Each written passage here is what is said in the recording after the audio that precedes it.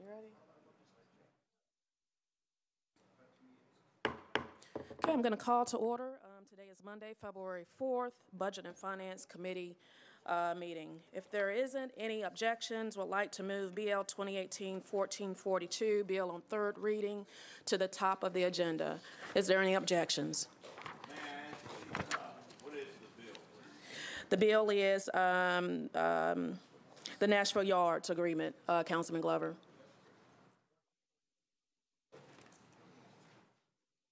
Councilman Glover.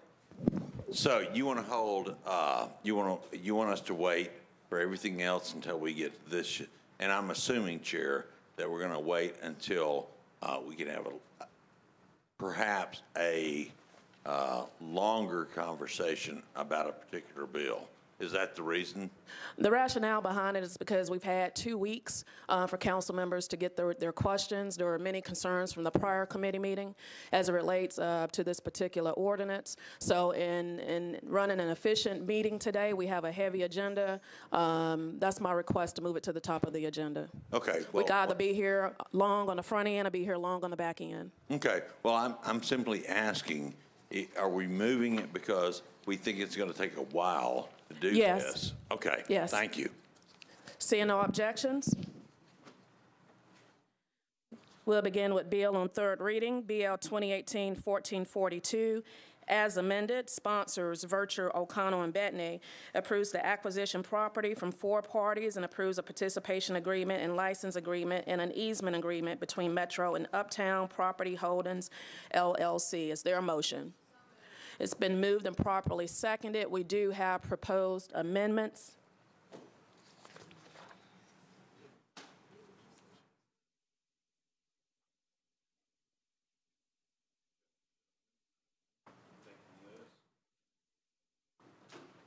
Give us a sec. We pull, we're getting, we're getting ready, Councilman Glover. Be patient. How many do we have?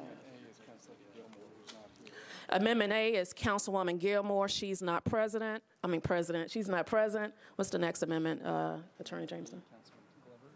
Councilman B, I mean, Amendment B, Councilman Glover.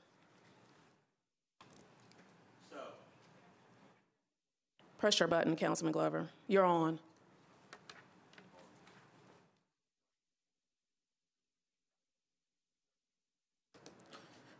We're on Amendment B, Councilman Glover. Okay, Mr. Jameson, if you wouldn't mind, please explain what my amendment does to this uh, with regards to the, the bill as a whole. And let me say, if I may, before you speak, that I'm not in, in opposition of supporting business coming to Nashville.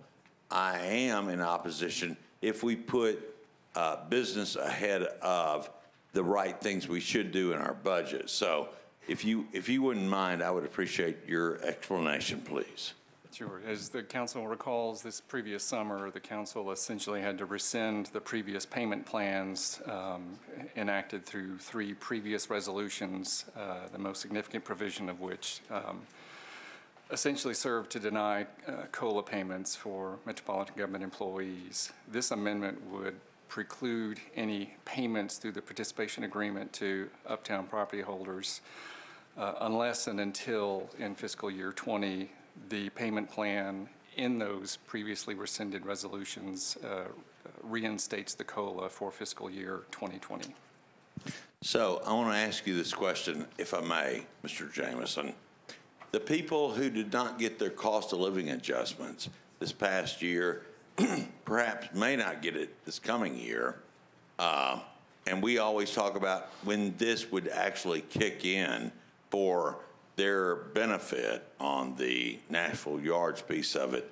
Uh, when, give me an idea of when that actually kicks in for the benefits for the project that is, has been proposed. Well, I'm- I may defer to Mr. Wiltshire to give more And that's specific- fine. Mr. Wiltshire, can you give us the timeline, and then Councilman, we're gonna want to take the vote on your amendment. Looks like we have some discussion Well, I on it would as like well. to have, to make sure we have a discussion. Councilman Thank Glover, you. Councilman Wiltshire. Mr. Wiltshire.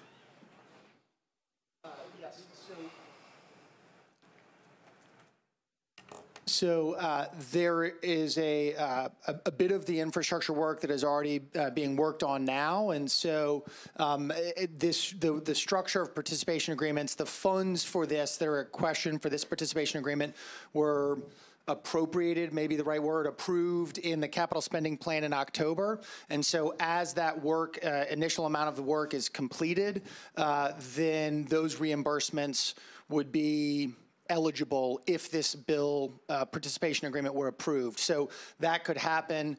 Um, I would maybe defer to someone from the development team to give a specific timetable, but I mean, that could happen as soon as this summer uh, for, for the initial piece of that. And then, as uh, you recall from prior discussions about this, there is an overall commitment in the participation agreement for $15.25 million, um, only uh, 6.25 million of which has been approved by this body already, and so there would be another $9 million that would come in future capital spending plans, or that is proposed to be in future capital spending plans, um, and uh, no more than 6 million of which could come in any one capital spending plan. And so those amounts would only become available when those future capital spending plans were approved, if they were approved in the future. So, Attorney Madam Bone, would you come and provide the timeline? I know council members received it in a summary, but just so we can have it on record for the viewing audience. Thank you so much. Sure, thank you, Chair. Um, So I think there's a couple of pieces to that answer. The first is the $80 million or the 79.4 million of the total infrastructure is underway. Um, As of the end of the year, about 25 million of that had already been completed. I would suspect we're now closer to 30 million on that. And then the infrastructure piece of this, that's the work, quote unquote, that Metro is reimbursing for, the 15.25 million is actually ahead of that and going faster. Uh, So all of that is on a, a pretty accelerated, expedited path, path. However, the reimbursements for that will not come for over, uh, up to a four-year period, as Mr. Wiltshire explained. Okay, so Chair, here's my final question. And this is to the administration. And if they, and it's a yes or no answer. Last year, when we did not honor the cost of living adjustments and we opted for other things, do they believe this is absolutely the right thing to do and not honor those raises that we promised? That's a simple yes or no. Thank you.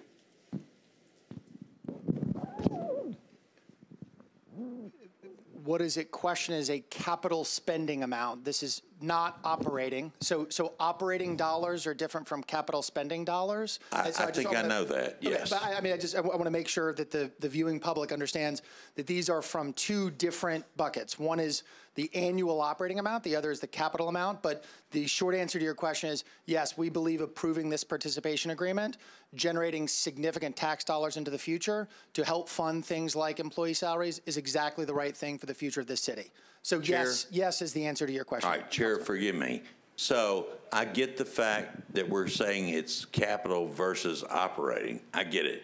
But I think that public also needs to understand that we pay these loans back out of the operating budget.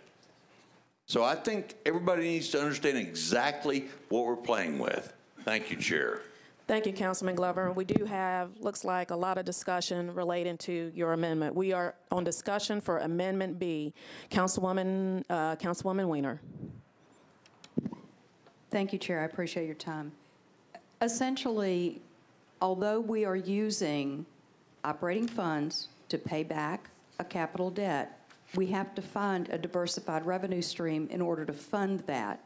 And if we want to do things like pay our employees the raises that we promised several years ago, and support all of the other things that we need to do to run Metro government, we clearly need to find every opportunity to, A, mitigate our expenses, which is being done through the infrastructure work that's all being, already being done, that is part of this opportunity for us that is going to reduce our expense, because if we weren't doing it this way, our expense would be at least double what it is now. So that's number one. Number two, if we want to get more property tax value from this property that has not been giving us the property taxes that we can get, then developing the property appropriately is what we need to do.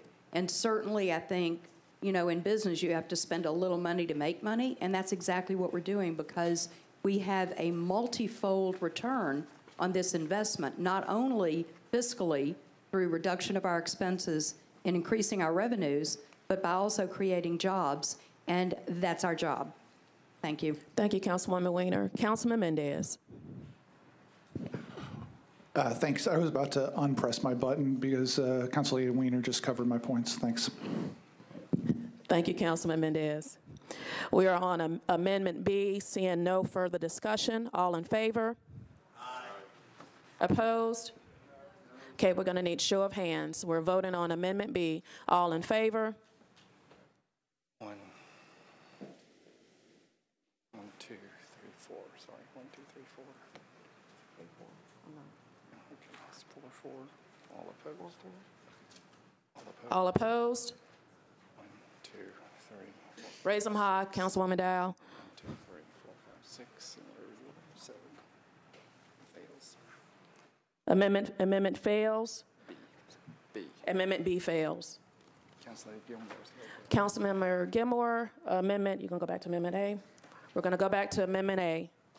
Attorney Jameson, will you advise the committee as Yes, to what this uh, amendment is? yes, Council Lady Gilmore's amendment labeled Amendment A, because there are multiple amendments to this ordinance, um, would essentially attempt to apply the previous procurement policy uh, enacted uh, by this council um, a few months ago with respect to Chapter 4.46, the Equal Business Opportunity Program.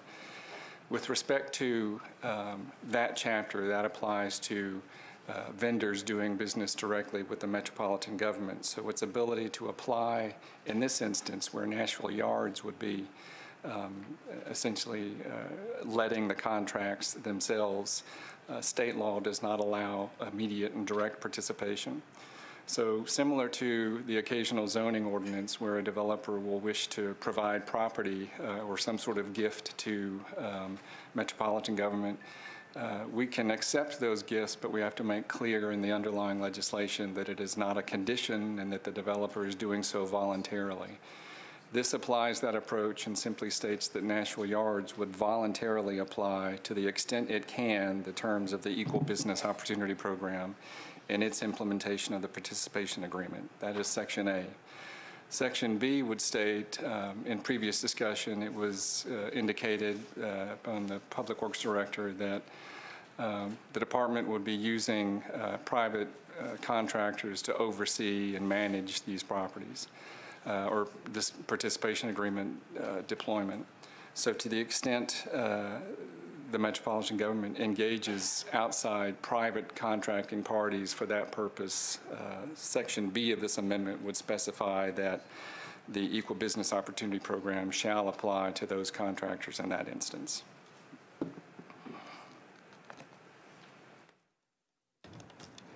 Councilwoman Weiner. I just have one question, Mike. Uh, To your point, and I understand the rationale behind this, um, I'm more thinking in terms of state law. By putting this in resolution format, is that not making this a directive by the Metro Council that would be in violation of state law? So what we've done in the past, the, the state law is the Tennessee Contractors Licensing Act, which provides what conditions can apply in, in procurement instances. and makes clear that uh, no other conditions can be mandated by a municipality or the governmental entity. So this uh, portion of the amendment makes clear that this is purely voluntary compliance by Nashville Yards and is not to be deemed a condition of the execution of the participation agreement in an attempt to avoid that very issue. So my next question, Chair, would be, has anybody discussed this with Nashville Yards, and what has their response been? And if possible, could we hear from them? I have to yield to, to the, to the sponsor first, and then we can call up representatives Okay. from Nashville Yards. Thank you. uh, Councilwoman. Weiner. Yeah, Okay. this, Councilwoman Gilmore. We're on Amendment A. Thank you. Um, So I have not spoken directly to them, but I have spoken to the representatives, uh, which I think is Beecher, and he told me that they were uh, open to this idea, but I do look forward to hearing more from Ms. Charles, Charles Robert Bone back there. So I have been in conversations, but to speak directly with the persons from Nashville Yards, no, I haven't. And then I have some follow-up questions after we hear from uh, Mr. Charles Robert Bone. Thank you. Thank you, Councilwoman Gilmore. Attorney Robert Bone? Sure. So, uh, Council Lady, certainly we appreciate um, what is intended here. I think the, the issues we have are a couple-fold, and let me lay those out and then tell you where I think we're, we're headed.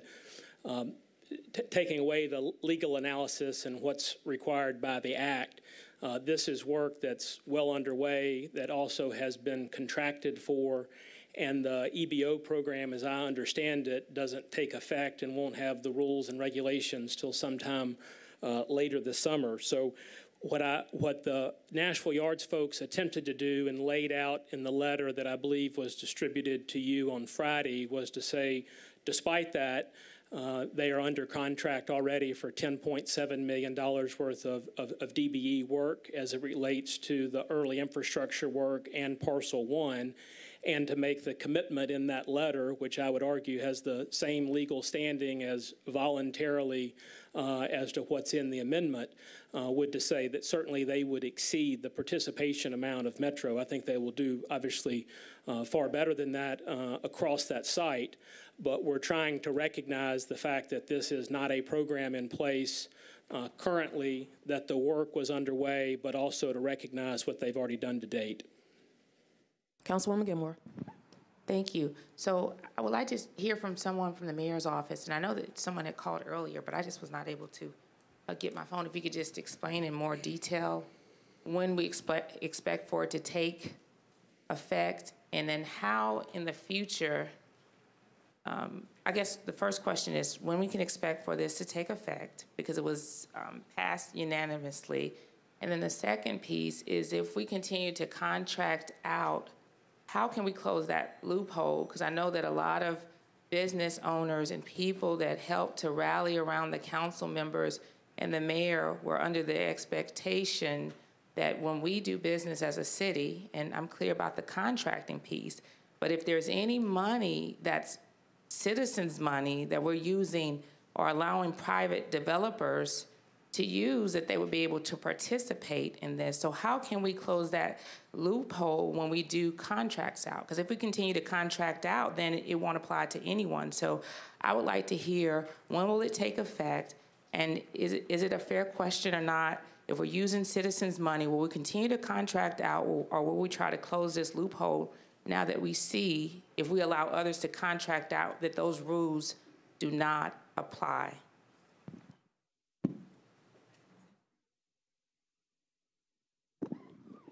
Sure, Councilmember, um, thank you.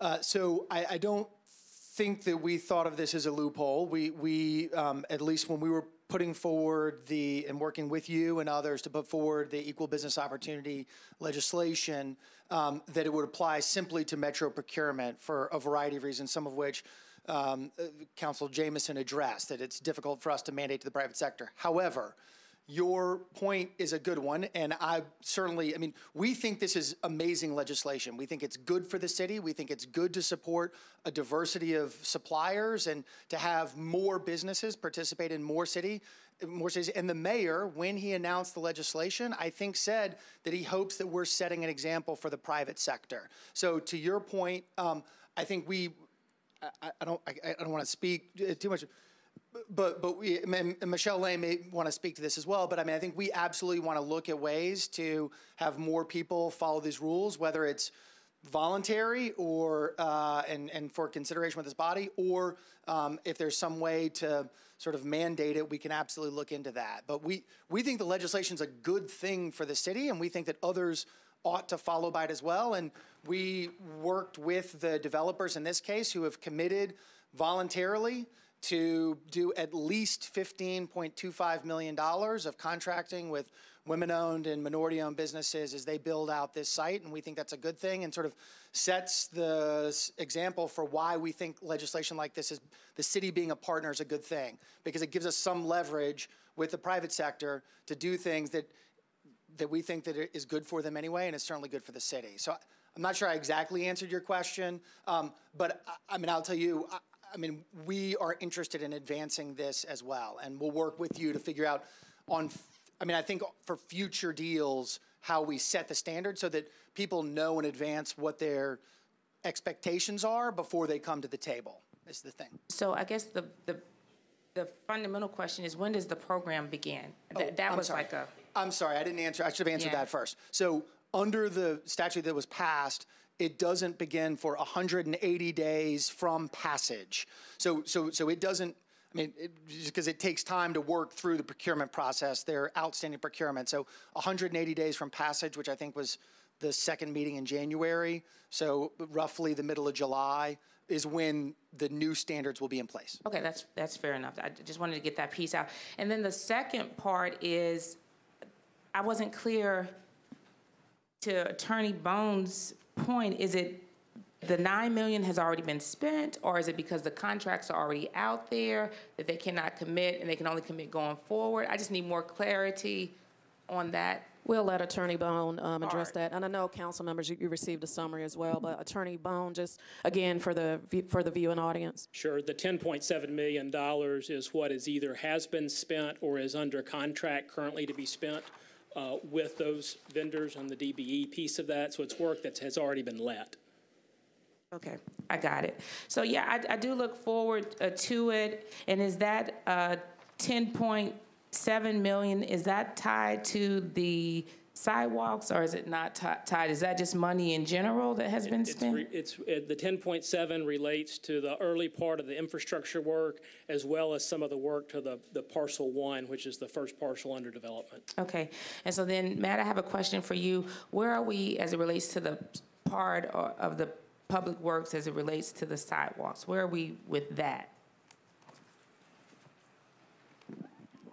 Uh, I, d- I don't, wh- wh- what do you With the, with the, um, I guess, the bill that Cooper have, they said it was, uh, was originally, I thought we thought it was 15 million, but it's 11.487 million. Where is this money? Where are we on that particular part of, or the phase of that project? Sure. I'm, I don't know if we want to, you want me to address this now or address it at, it when we get to that amendment? Yeah, Um, let's, uh, Councilwoman Gilmore, if we can, if we can hold that and Okay. address it, because there's other amendments coming also. Okay, good. Yeah. And the only reason I asked is She's not to take us. referencing the utility total. Yeah, to, not to take it off task, because this is the part of the city's money that we're reimbursing, right? Yes, ma'am. Okay, and so I guess the point that I was trying to drive without getting too far off, if we're using a lot of citizens' money, we would want this part of the procurement to apply, right? Yes, And so, without getting too far off, just kind of want to make a point there, so when we come back to it, that's the whole point of that, and that's not contractors' money, that's actually citizens' money that we would be in- reimbursing them to do the work, correct? Uh, no, no, actually, all of the money is, I mean, it's all Metro money, I guess I should say. The, the 15.25 million is all Metro money coming from two different sources, water revenue bonds and then GO bonds. Okay. Um, but it is, it is being, it, the actual work is being completed, not through Metro procurement, but through the developer directly, and we're reimbursing them for a portion of their costs. Right, and I think maybe you articulated it a little bit more specifically than I did, but the point is that it's Metro's money. Metro That's- money. That's what I'm trying to get to the root at. It's not originally the developer's money, and that is the concern in just in terms of the participation. Yeah, absolutely. Okay. Yes, ma'am. Thank you. We're still on discussion on Amendment A. Councilwoman Weiner, were you seeking recognition? Okay. Uh, Councilman Mendes.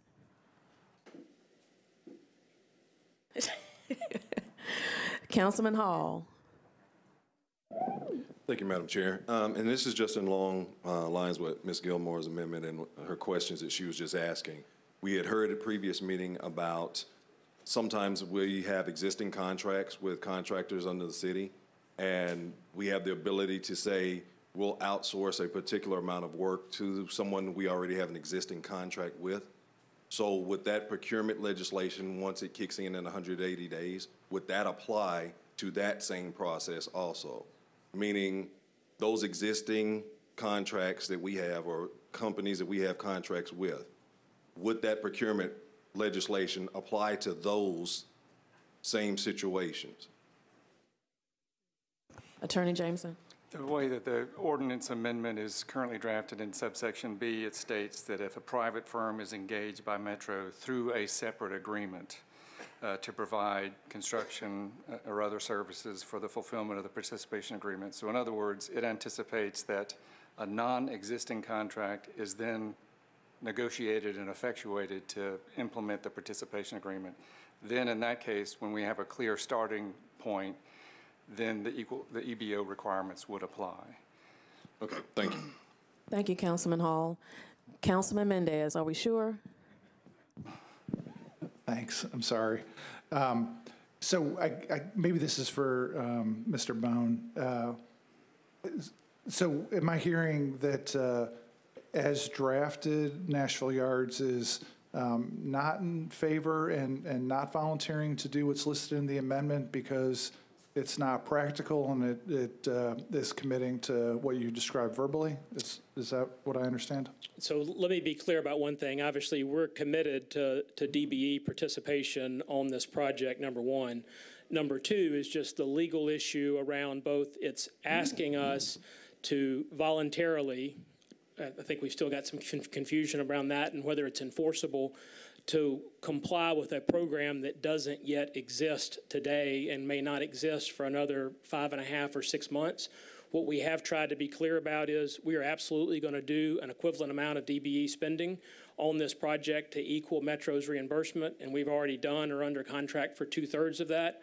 And so we thought, obviously, what was provided to you all uh, in that correspondence actually went a step further in many regards as to what's in this ordinance, since this is a program that doesn't currently exist. Uh, Thank you. Let me ask uh, Legal Director Cooper something. Um, The bill we have before us, um, is is this a situation where um, if we approved it, uh, that the city and National Yards would be able to um, put an addendum on the participation agreement where they outlined what they were going to do voluntarily? Or would we have to um, get language like that approved before the, um, we pass the legislation? Uh, Like, I seem to remember other uh, contracts, uh, uh, non-substantive um, things can get added to the contract without our approval, and it seems like having a description of what the voluntary performance is um, would be non-substantive. So if, if the legislation itself says that the contract is being approved in form and that future uh, non-substantive amendments can be approved, um, you know, just by the, by the administration, um, I'm not sure if that's in this legislation or not, but that's, that's typically how that's done. Madam Chair, will you bear with me one minute?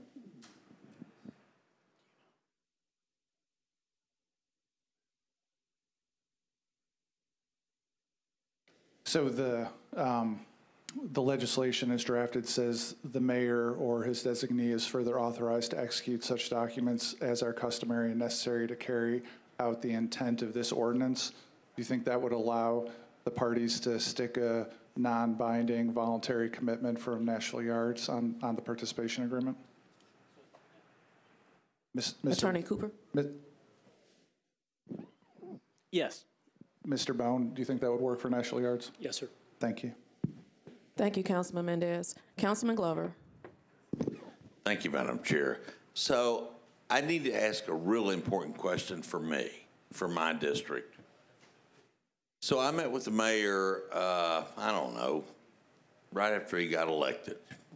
And he and I had a conversation. I'm gonna, I'm not gonna speak on his behalf.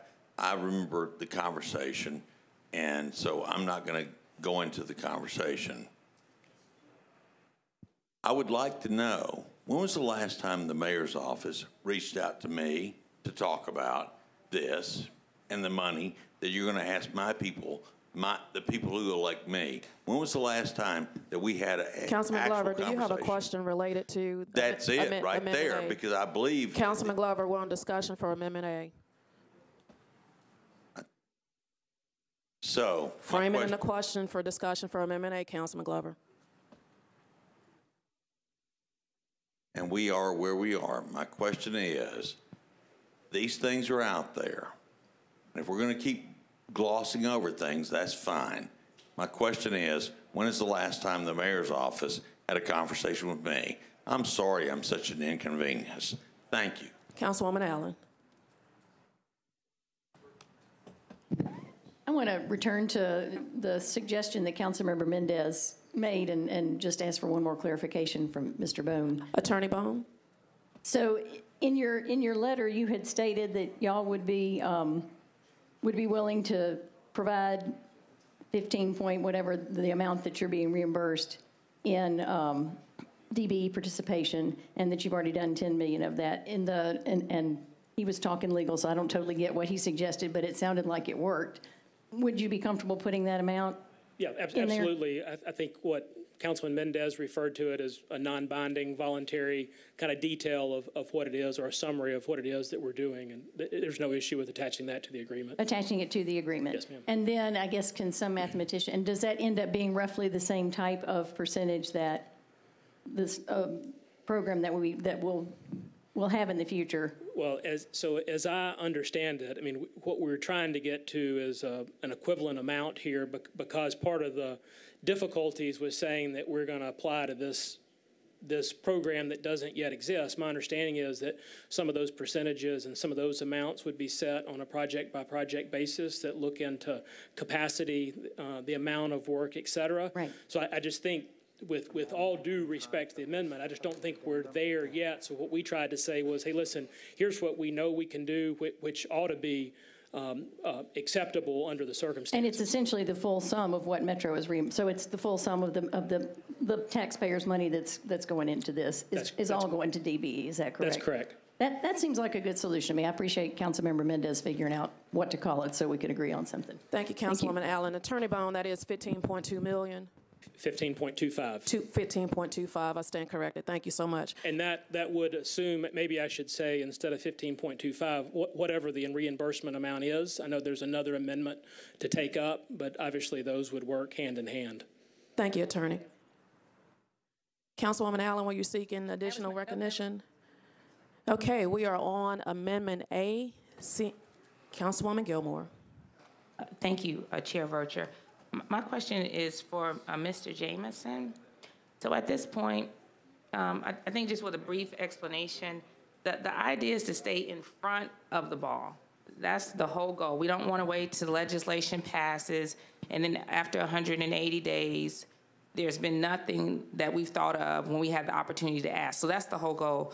So am I able to um, make an amendment and suspend the rules so I can do, I guess, an addendum that they discussed so that we can have it? So I, I understand what he's saying, if there's nothing in place, but we don't want to wait. I, I feel like we, we find ourselves in this position, we wait, and then it's already passed. So I would like to stay in front of it. I understand what he's saying legally, but what, from what is written here, is my understanding, what I hear you're saying is that we're not binding them legally. We're just asking. And so with that, I, I would like to continue to ask, right? Because it was passed unanimous, unanimously, and I do want us to stay in front of the ball. It was an oversight. Um, I think it was some things we didn't foresee. I feel like we have a really good program, but I would like for the intentions and the spirit of the bill to hold that. So I would like for all the committee members to hear what I'm asking. I would like to make an amendment so we can add the addendum and we can move forward. And I think that would satisfy uh, both parties in good faith. If you could just tell me how to do that process, I would greatly appreciate it. A couple of different ways. What I would suggest is let me prepare a late filed amendment for your submission tomorrow. There's no need for the committee to approve or reject an amendment to the ordinance for it to be considered by the full floor tomorrow. With your permission, I would like to engage Mr. Bone, ma- the mayor's office, Metro Legal, to make sure everyone is comfortable with an addendum to the participation agreement that provides this language. Have the late file agreement for you to offer on the floor tomorrow and request adoption at that point. So the late file tomorrow, so I need to, The microphone, Councilwoman Gilmore. so do I need to withdraw this one, or just leave it like it is? I- I would, if I were you, I would Just- withdraw this Okay, one. but- I will do that. Um, With the committee understanding that I'm going to bring back a late filed resolution, I would like to uh, move to withdraw the bill. Thank you, Councilwoman Gilmore. Thank you. Amendment A is withdrawn. Amendment A is withdrawn. And now Amendment C. Now we're on to Amendment C. Uh, Mr. Jameson, if you can advise the committee and the viewing audience of, of Amendment C, and then we will call on the, the sponsor. In Exhibit B to the participation agreement, it was a recitation of those infrastructure portions that Metro would be providing reimbursement for, which totaled 16 million, 16.6 million. There was a cap in the participation agreement of 15.25 million that uh, Metro was obligated. This amendment would eliminate from that Exhibit B essentially the streets and sidewalks provisions, the traffic signal- signalization provisions, and the construction management provisions. And by uh, removing those portions, it drops from 16.6 to 11.4 million, and it makes the necessary changes in the body of the ordinance to reflect those changes. Thank you, Mr. Jameson. Councilwoman Henderson. Uh, Thank you, Chair Vercher. I would like to move this amendment, please. It's been moved and seconded. I believe we have some discussion on Amendment C. Uh, Councilman Cooper? Chair Vercher? Yes. If I may, may I speak to my? Sure, go ahead. I thought Thank you were going to do that, but go ahead. Uh, Just to follow on uh, what uh, Attorney Jameson has shared, uh, subsequent to our uh, deferral uh, last time in committee and questions that were posed there, we did have additional discussion in Budget and Finance, or rather in Public Works Committee. Um, That discussion in Public Works Committee speaks to the reduction in project construction management. Um, I asked uh, at last meeting related to that, um, uh, if that was uh, necessary and to whom uh, that was directed. I understood at last Budget and Finance that that um, appropriation in the participation agreement was specific to Collier Engineering. Uh, Director Sturtevant um, came to the uh, Public Works Committee um, and shared with us at that meeting that he was able to reduce that amount by $800,000 to get that down to $100,000. So the fact that that could be reduced so significantly uh, in one day, um, I think calls into question uh, its, its need, um, and that is why that is eliminated. Um, Additionally, uh, I think uh, the conversation that we had in Public Works Committee, uh, I think elevated and highlighted our understanding that uh, participation as it relates specifically to the water improvements is a, a smart uh, decision for us to make, and it's important for us to uh, um, leverage this significant project um, specifically. So um, what I was attempting to do through this amendment, colleagues, is to isolate um, the uh, utility uh, participation. And so uh, to that end, uh, I have posed questions uh, to the Water Department um, and the Mayor's administration. And so uh, as of noon today, um, I have additional information related to the utilities section. So I think Amendment C is an improvement, but I would tell you all that we could um, improve this even additionally. And so, uh, Chair Vercher, I, I know that colleagues may have questions, but I also do have questions for the Water Department, uh, for Public Works, and for Mr. Bone, myself, that I would like to be on the record. Uh, Councilwoman Henderson, we're on discussion for your Amendment C. Do you want to go ahead and pose your questions now? Sure. Okay. I'm happy to do that. Thank you. Um, let's see, if I may first, if somebody from the Water Department, please, um, And Councilwoman Henderson, if we can, um, Chair Vercher. all your questions for water, if we, if you can ask them all at once, and I then we'll will. have a turn, okay. I will indeed. Thank you. Director Potter. Can we take them one at a time, though? Um, Director Potter, thank you. Um, I also want to thank uh, Amanda Deaton Moyer and uh, uh, Shanna Whitelaw um, as well for uh, helping me uh, parse out all these particular uh, items.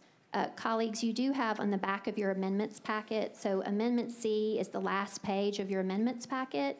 Um, And then on the back of Amendment C, on the back of the packet is Exhibit B. So those are the particular pieces um, that we are uh, discussing at this time. Um,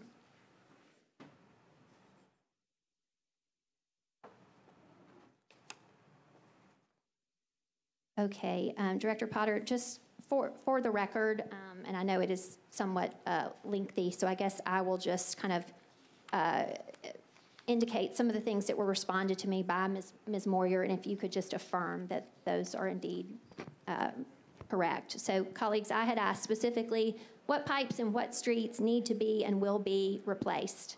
Um, And so as it related to water infrastructure, um, Water shared that an existing 1893 cast iron six-inch pipe in Commerce Street from 10th to 9th will be replaced with an eight-inch iron pipe, and so on. Existing 1888 cast iron six-inch pipe in 9th Avenue from Commerce to Church will be replaced with an eight-inch ductile iron pipe. Existing 1959 cast iron six-inch pipe in 10th Avenue north from Broadway to north of the YMCA, replaced with a new 10-inch ductile iron pipe from Broadway to Charlotte. This connects our 24-inch pipe in Broadway to our 12-inch pipe in Charlotte, which is a big benefit to our system. The previous existing piping configuration stopped short of connecting into Charlotte. Is that uh, accurate as to the replacement of the water infrastructure? Yes, ma'am. Okay, thank you. Um, New piping and connection to the large mains in Broadway and Charlotte um, have allowed you all to abandon two mains, correct? Okay, and now combined system infrastructure, you, uh, the water department shared, there's an existing 1,900 18-inch vitrified clay pipe in 10th Avenue from Commerce to Church. That will be replaced with new 24-inch or 30-inch ductile iron pipe. An existing 15-inch 1900 vitrified clay pipe in 10th Avenue from Alley 121 to Charlotte will be replaced with 18 inches of PVC, and a new 18-inch PVC installed in Commerce between 10th Avenue and 9th Avenue uh, will be replaced. Is that correct? Yes, ma'am. Okay, and a new 12-inch PVC in 9th Avenue from Lifeway Plaza to Commerce. Correct? Yes, ma'am. Okay, so um, I guess what I would like to understand then, additionally, I had asked you all uh, to break out um, the kind of hard infrastructure costs versus uh, the labor or materials and labor. Um, And you all indicated that just for common practice, the estimates and prices were just based on the installed line. So those numbers come together. Um, But uh, can you, my understanding here from the email is that the cost of all the pipes that we have just discussed um, and uh, the labor, as far as the participation uh, that the water department has agreed to, that that is just $3.25 million? Yes, ma'am. Okay. Well, hang on. My CFO's wa- wants to provide some information. The total is going to be more than that, but our participation is 3.25. Okay, so your participation as it relates to water infrastructure replacement is 3.25 million. So in this Exhibit B, we have stormwater separation at $4.716 million. We have water line upgrades at $1.975 million. So by my accounting, that combines to be $6.68 million. But if you have agreed to a participation of 3.25 million, that to me looks like a $3.43 million discrepancy. So can you speak to that? Yes, we were given that. I'm gonna need you to, can you speak into the microphone? Come, Yes. come closer to the, yeah. Our, our process is that we got the estimate, and we normally look at that estimate and we see that it is, what is 6.68? We had a different estimate at the time, but, and then we participate at 50%. And we have consistently been that our water would participate at 3.25%. Okay. And so uh, in an email, um, uh, I guess around noon, um, responding back from water, uh, Mr. Wiltshire, you were CC'd in, um, but have yet to respond as to uh, that discrepancy and some more of my general questions. Can you speak to that discrepancy?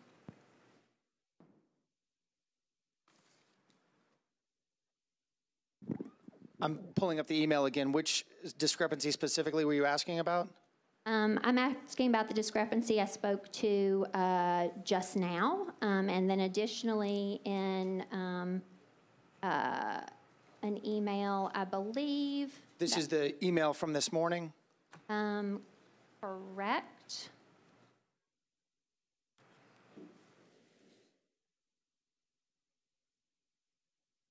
The utility demo? Um, let's see. So, uh, Mr. Snyder uh, responded to me midday confirming about the 3.25 million.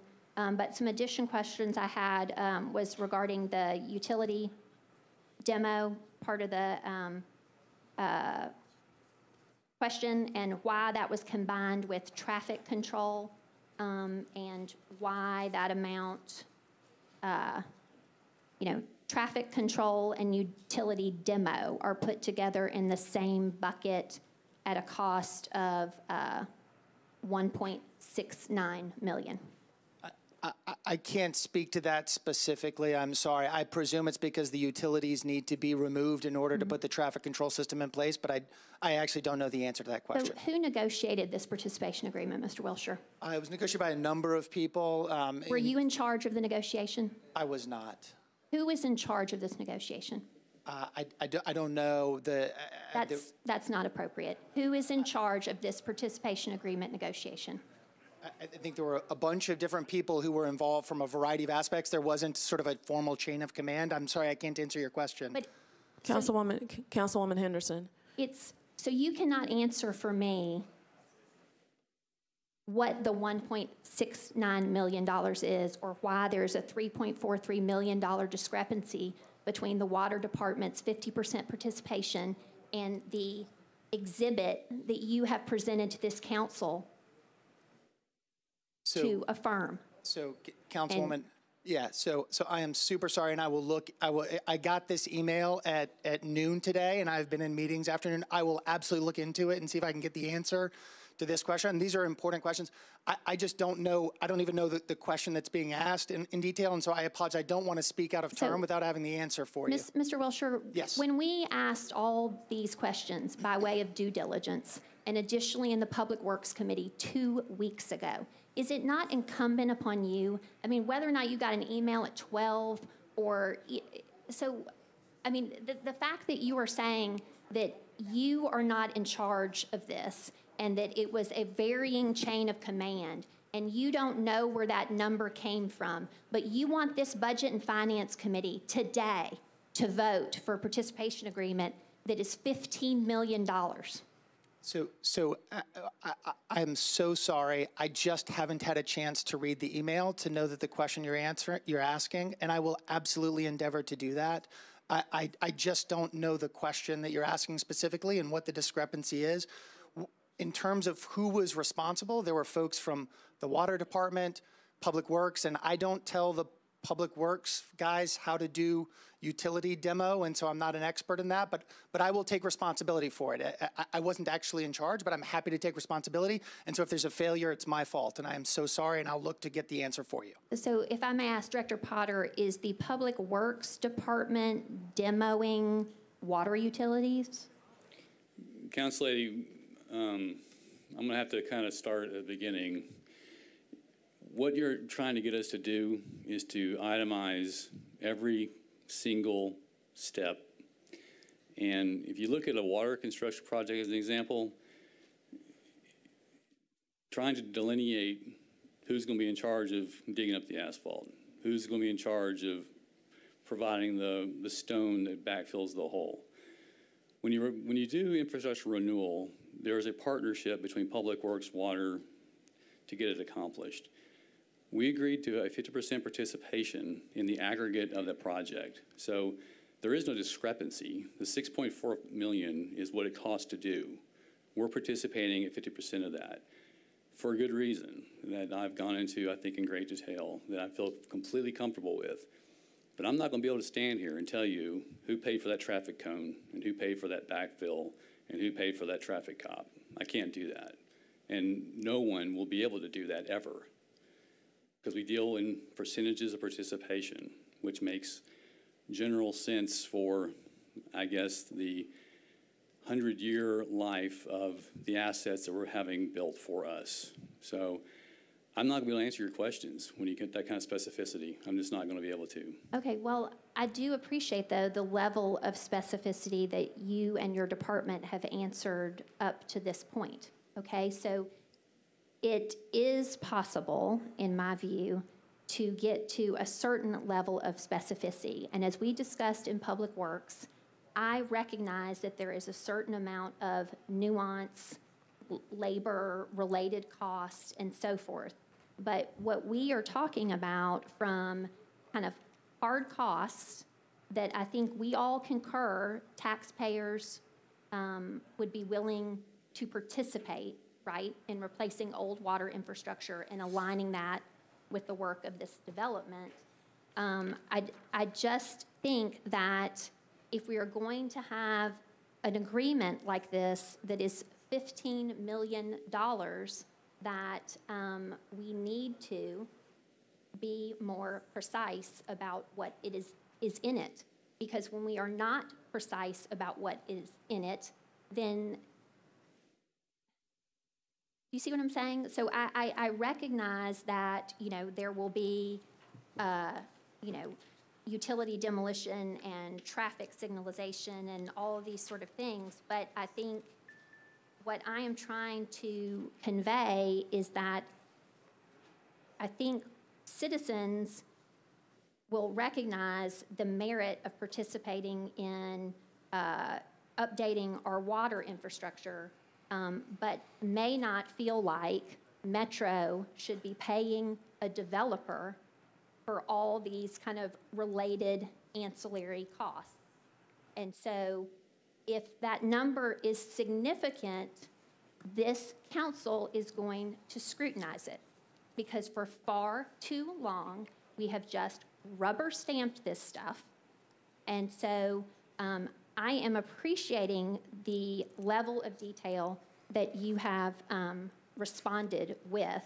And so I want to commend your department. But when I speak to a discrepancy, whether or not you think that you can provide that, it is still incumbent upon Mr. Wiltshire, if this is negotiated in the mayor's office, to respond to who is responsible for coming up with these numbers and specific, somebody had to do the math. So why aren't the taxpaying citizens privy to all the math? Well, we did every single calculation when it came to doing the water, sewer, and stormwater infrastructure. So we, we did that. Um, when it comes to a level of participation, at some point, engineering judgment is going to have to come into play. And I'm telling you, as a professional engineer and as director of the water department, that the city is benefiting from our participation in this project. And I concur with that. So, um, Councilwoman Henderson, you have any more questions? You, you have, dis- you have many council members that want to discuss this Amendment C. Okay, I do. I guess my additional question was um, for uh, Mr. Wiltshire. Let's see, question number two in this email. Okay, um, Have you already emailed him, Councilwoman Henderson? I have, but Matt, this is what, for sake of time, to get to other council members, um, to- so we can get on, moving on this amendment. May I ask Mr. Wiltshire just to speak to temporary power, please? I- Again, I- I, I am not a, a- an- either a public works engineer nor am I a, a water engineer, so I am not sure uh, w- the necessity of temporary power um, in this specifically. So Um, I- that would I can- be electrical power. Mr. Bone, can you speak to the need for temporary power and why Metro should pay for temporary power? Sure. So, I mean, I think there are two, two questions that you've hit on around that. The first on traffic control and utility demolition. Hmm? Obviously, that is the work that goes in with removing the existing utilities that are there to make way for the new utilities and all the work that has to go around that. The temporary power goes into, as you take the power that's currently there offline to be able to feed power, whatever, it, it's included in the construction cost. Obviously, What my client had tried to do, to your questions, is both on Exhibit A, the 79.4 million, and Exhibit B, the 15.25 million, instead of giving you just lump line items, that this is what it costs to build back the utilities. uh, The, what they had tried to do was give as much transparency around that as possible.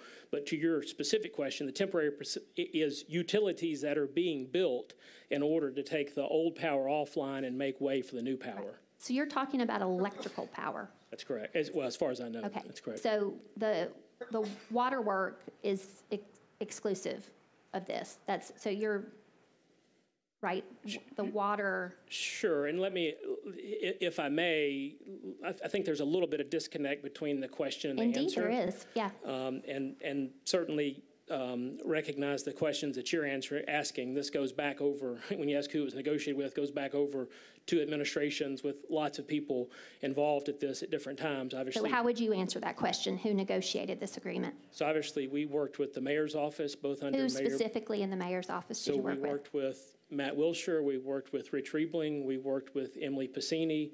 We have worked, I mean, well, obviously with Public Works, with water. I mean, we've gone through numerous meetings. My guess is And who- 12 different people as a part of that. Okay, who else was at the table? Director Potter would have been there representing water, Mr. Sturtevant representing, who, who else was at the table? Correct. Uh, Other people in their offices at different times, obviously. We- We've been, I mean, this process started with Nashville Yards coming in and saying, here's what we're thinking about the project in general. Here's specifically what we're thinking about infrastructure. Obviously, there are things that w- the Nashville Yards is being asked to do that is beyond what have, would be required uh, beyond what is needed for that project, and certainly other opportunities while we're there under, under the streets. I mean, the plan was to open the streets one time so that we didn't have to do that multiple times. Understood. And as a result of that, where the negotiation landed, in fact, I, I'm not even sure landed, what, what Metro said is, we believe 15.25 million of this is subject, well, actually 16.7 million of this is eligible for reimbursement. And that's as we looked at, at separate line items and separate groups of work. And what Metro said is, we're comfortable um, I think to Director Potter's issue, I mean, you've, you've got some engineering variance here, but we're comfortable that the work that's being done that we've either asked you all to do or that goes beyond what is needed or benefits beyond this site is 15.25 million. And then it was, we, we had no involvement, the Nashville Yards had no involvement with how that was funded. And so obviously, we've heard 3.25 million of that would come from water, and the balance of that would come from Public Works. One other thing that I might add, just while I'm here, the, the line item for project construction management has nothing to do with Colliers. Colliers is not, Colliers does not work for Nashville Yards and is not being paid out of that line item at all. It's for Nashville Yards, architects, engineers, contingency, all the other work that's not direct hard to the, mm-hmm. to the contractor. But did Director Sturtevant not stand here in this Budget and Finance meeting and mention, or rather say, that that is who that, who Metro would use for that work? Yeah, so I, I don't know that that was his answer. If it was, it was a misunderstanding. I know he came back in the Public Works Committee and said to date that they thought about $2,000 had been paid to Colliers and that they estimated for the life of this project, I think approximately 100,000, if I remember that correctly. But none of that was to be paid for by Nashville Yards, or this was Nashville Yards' direct cost to this project, and that has nothing to do with Colliers. Okay, all right, but you can understand why, based on the responses in this committee and then again in Public Works, that that would be concerning, given recent news. Sure. Okay, thank you. Thank you, Councilwoman Henderson. I don't know, we have a lot of council members for discussion of Amendment C. Um, Just be patient. This is where uh, we ask the tough questions and where we do the vetting. Uh, Councilman Cooper? Um, Thank you so much, Chair. I'll try to be uh, quick with my questions, and I appreciate everybody uh, being here. Just um, may stand so I can see in the back a little bit. Um, As I was following Councilman, Council Lady Henderson's questions for water, um, the view, Director, is that eligible for reimbursement is about 6.7 million? Yes, sir. and of which your department's policy is 50% or about 3.25 million? We don't have a set number. We, we get together to discuss the merits of the project and where we, be- we would feel comfortable participating. Okay? And we But- reached a conclusion where that would be, Fifty percent is, is the three and a quarter, and that, that sort of trues it up to the amount that's eligible for reimbursement. yes, sir. Okay, so I guess my confusion is if this whole list of eligible for reimbursement is 16.7 million, of which water eligible for reimbursement is 6.7, and you all at a 50% rate is 3.25, then why are we appropriating the greater than $15 million number? Why aren't we living up to this 50% participation, which does sound like a good deal for the city, but really we're reimbursing 6.7 million on this schedule? Well, I'm speaking specifically for water, sewer, and stormwater only. Okay. And, and I'll, um, you know, this may not be nice to say, but I think we're taking Nashville Yards, we're getting a really good deal from the water sewer side. Um, I think we negotiated pretty darn well. Well, uh, and I know everybody in that area is looking forward to investment and improvements, but I'm just, I'm just footing back to what's eligible for reimbursement and then what is our participation rate on that? And I know a lot of people are in the queue, so I have a couple of other questions for the various parties. I am told pretty reliably, and you're probably not, maybe not the right person to answer this question, that the state of Tennessee is actually reimbursing for some of the site cost on the Amazon site. So I it's have no not- idea about that. Well, would, would attorney, would Charles Robert address that? Because I, I was a little bit surprised by that because I thought Metro was going to be, it had not, you know, in this, you know, it's always unclear what the state is doing, but is the state also covering some of the site costs for Nashville Yards? No, sir, not to my knowledge.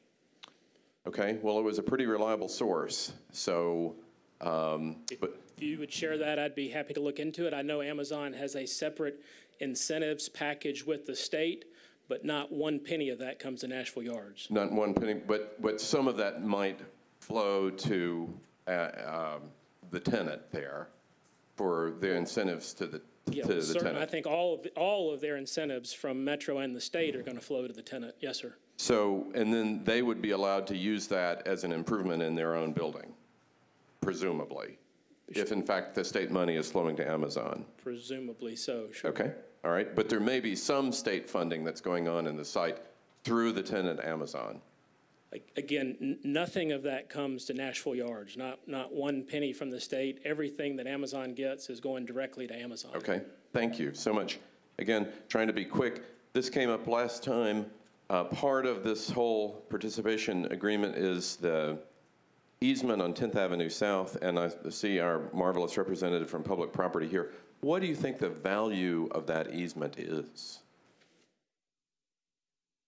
I mean, is it very valuable, not valuable? I mean, to a lot of people, you look at this project and you would not really be able to do this project without that easement, so it would seem very valuable.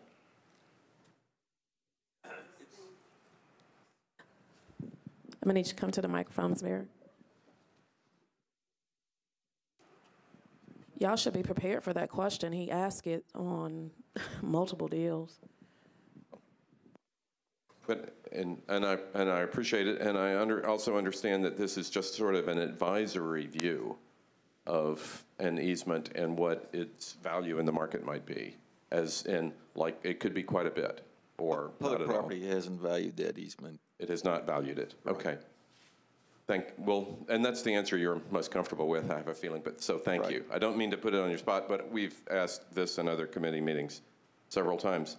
Um, In the letter that the council received, um, it says, a statement, and again, this may be back for the back of the room, that um, much of this infrastructure and enhanced capacity will, will serve to benefit other areas. This is also a question that I've asked before. Um, much of the benefit, how much of this capacity will be used for other areas? Okay, For, for water or? well, for, So I, I think the first slug of the public works money, so uh, Director Potter is obviously uh, best positioned to answer the, the water piece of it, although I've been in enough meetings to, uh, have developed a, a, a, a little bit of water knowledge. But as an example, the first uh, first piece that's to be improved is the intersection of Broadway and 10th, and that would serve anyone going from Okay. downtown out Broadway um, or anywhere around Union Station, uh, the Frist uh, Museum, or through that intersection. If they work downtown, if they go to school at Hume Fogg, if they go to So much of the capacity, I'm just trying to put a, a sense of what much means in this case. From a water and sewer perspective, um, I go back to how I responded to Council Lady Henderson in that it's going to be difficult to quantify.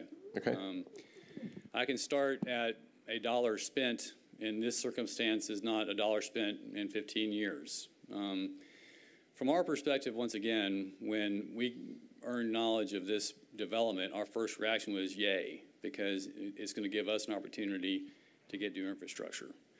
Um, from that point, our level of participation is, we set a goal to minimize it because we want to use that dollar elsewhere. In that shrewd 50% of value So scheme. If I've got, if I've got a brand-new ductile iron water main from here to there, and it replaces a cast iron water main from 1900, I've got an operational advantage that's really, um, it's impossible to quantify because operationally, as an example, a cast iron pipe is much more susceptible to failure, especially in temperature changes. A ductile iron pipe is not going to be as susceptible to failure. Um, a cast iron pipe may be tu- tuberculated on the inside because it doesn't have a concrete liner. A ductile iron pipe will not be. So you can talk about losses in friction over the, co- over the course of 60 years. How do you value that? Oh, I appreciate that, and I love your poli- department's policy on 50% value reimbursement. That's not a but here- policy number, Councilman. We don't sit at 50%. But We- you're, we- you're we go- reimbursing here at a much higher level out of this 15 and a quarter million dollars, aren't you? Of the 6.7 that's on the, available for reimbursements, you were, I thought you were saying that that was thought to be your, the, the cost of that. the cost of the entire water, sewer, and stormwater infrastructure, and we're participating in 3.25. Please jump in if I get the numbers mixed up. Okay, well then, how is it that the reimbursable list is for 6.7? because that's the cost of all the infrastructure associated with water, sewer, and stormwater. Okay, we, I guess we're having a disconnect here. Um, um, You all are committed to three and a quarter million dollars. Yes, sir. Okay, but Nashville Yards is going to get a check for over 90% of the 6.7 million dollars. Now you're entering a realm uh, that I don't have any knowledge of. Okay, all right. Well, i- it's a deep question, and I guess I would. Councilman Cooper, we'll let his CFO, she can, Okay, she should be able to thank answer you. that. Amanda. The, there is a six point six seven million dollar line. There's actually two lines that make up those, make up the total. We, when we got the engineering estimate, we looked at the engineering estimate, which was some time ago, and we said we would participate.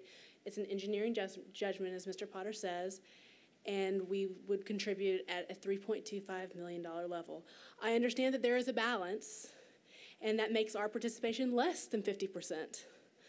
But Water's con- contribution is 3.25. The remainder of that funding is not, I, we cannot state where that comes from. Okay.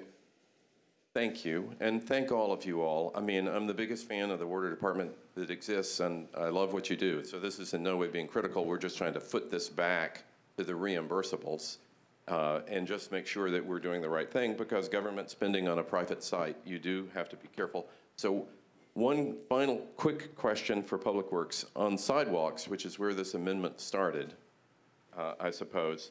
Don't we require other private developers to put in sidewalks now?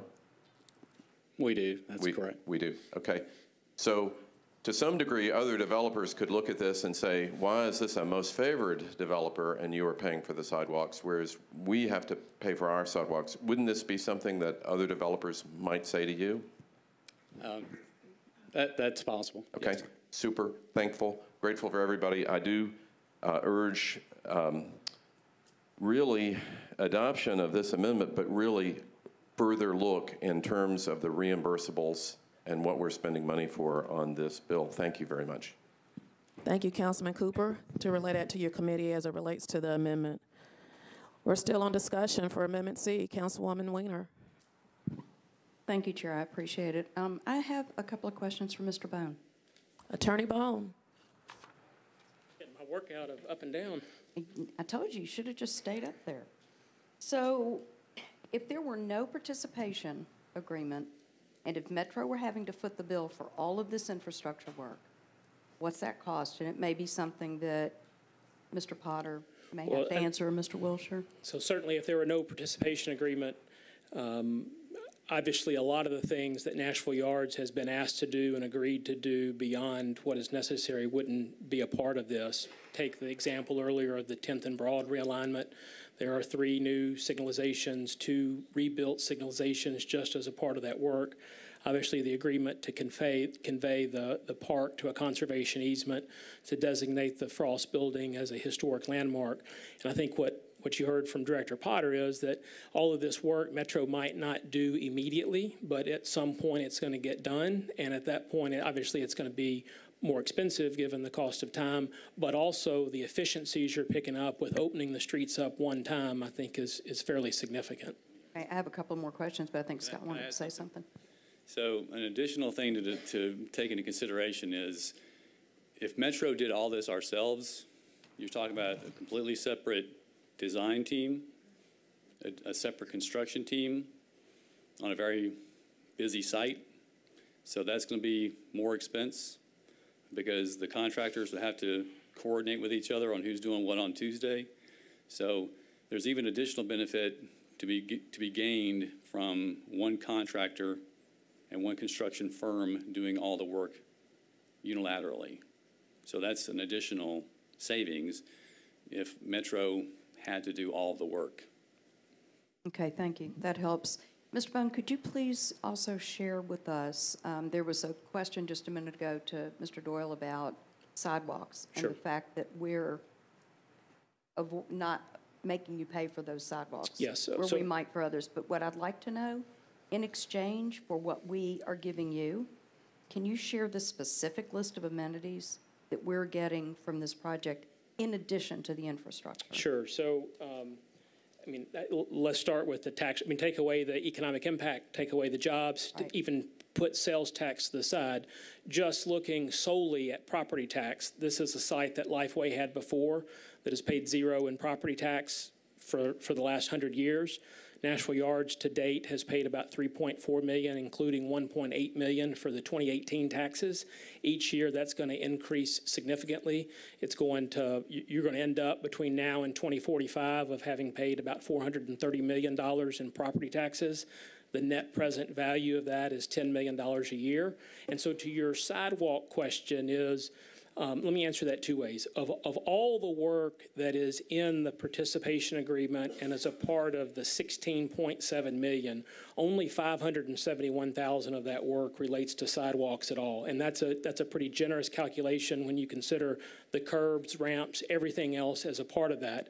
But two, here, we're providing $80 million worth of infrastructure, 65 million um, at our own cost. And so I would think that makes it a little unique and why you would say, uh, is this a place where we would do the cost of the sidewalks? Since we're now in the right of way, we're opening up the right of way, they've got to be replaced as a part of that. Having said all this, I appreciate all the questions. I appreciate the thoroughness of the line items. But what we tried to, to, to reach was an overall deal that everybody felt good about was a fair participation in order for Metro to get all of those amenities out of this and, and what, what was eligible for reimbursement as a part of that.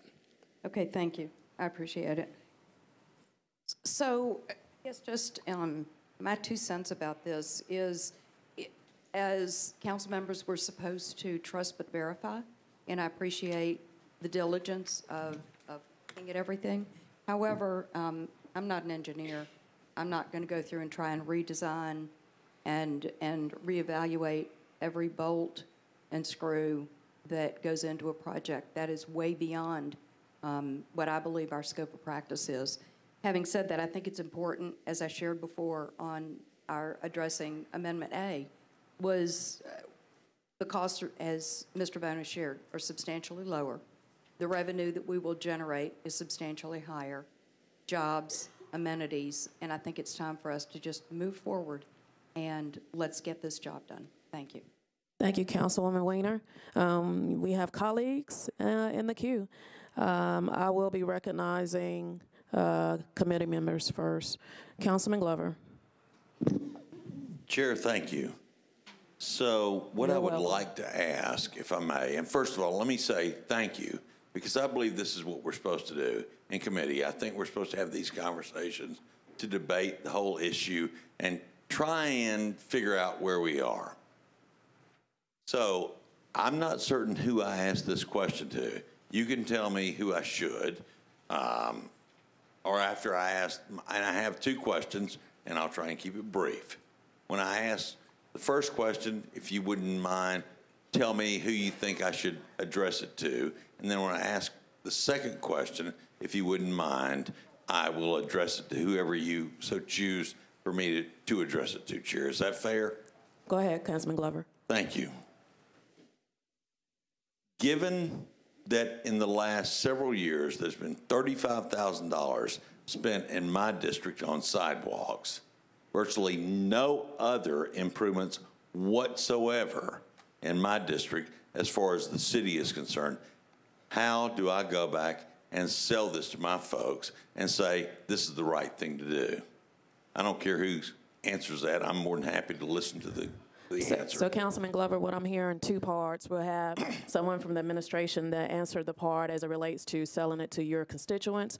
And then the other part, we'll have a representative from Public Works address the lack thereof of infrastructure in your respective district. Yes, and, and I didn't mean it to sound like two questions in that because I have one more question. So It's okay. however we want to do it, that's That- fine. That's your two for, for today, okay? I'm sorry. That's your two for one. Mr. Wiltshire?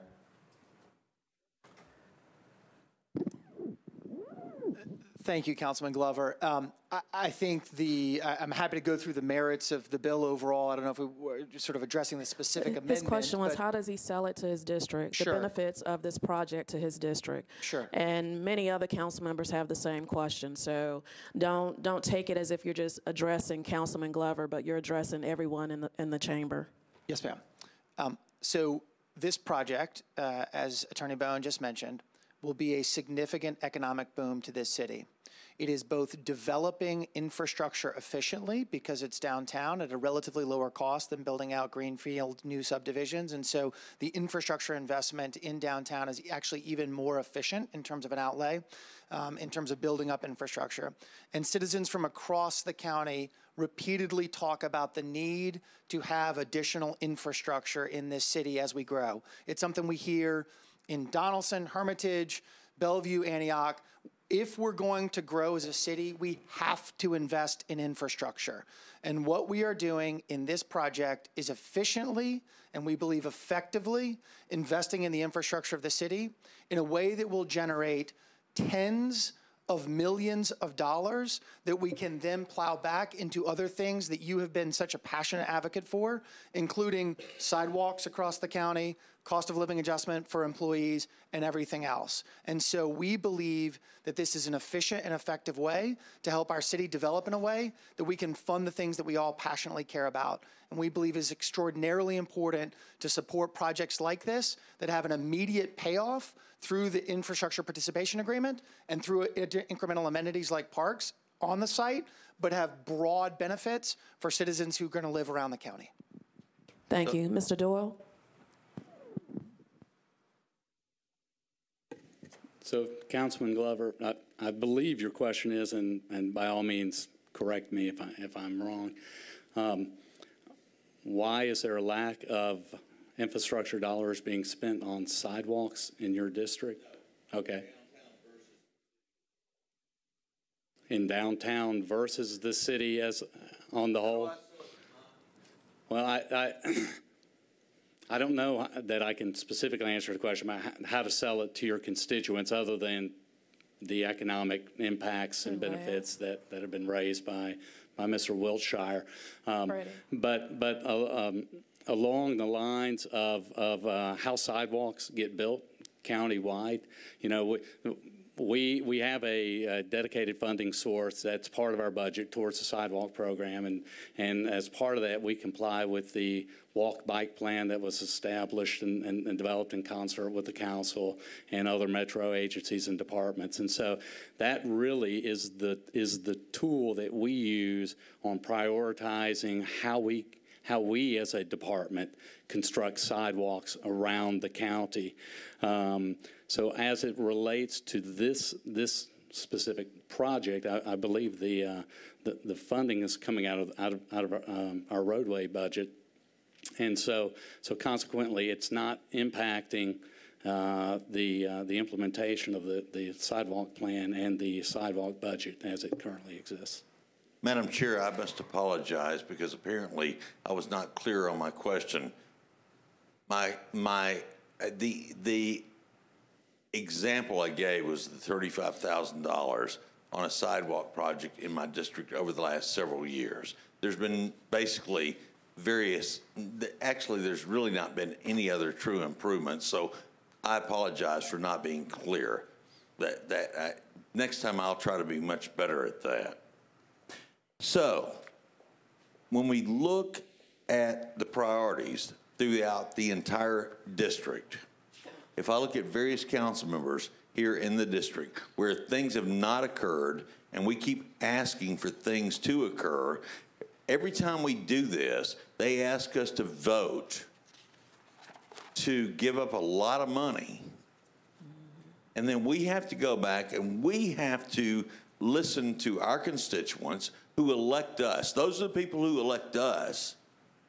And we have to answer them on why this is the right thing for our city. I'm trying to figure out how we do this.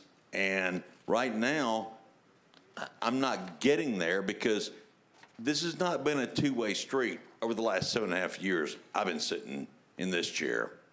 So whoever wants to answer that, I'm, I am more than happy to listen on what the answer is. Thank you, Councilman Glover. I believe uh, it's been, it's been asked and answered as the benefits as it relates to the project for, for the overall city. Yeah, I'm but gonna go- not- not Councilman Glover. I'm gonna go ahead and move us along. Thank you. Councilwoman Allen. Thank you, Madam Chair. Just a few clarifying questions uh, for Mr. Potter, I think. Um, This was somewhat alluded to, but I I just think it's helpful to have it explicitly said.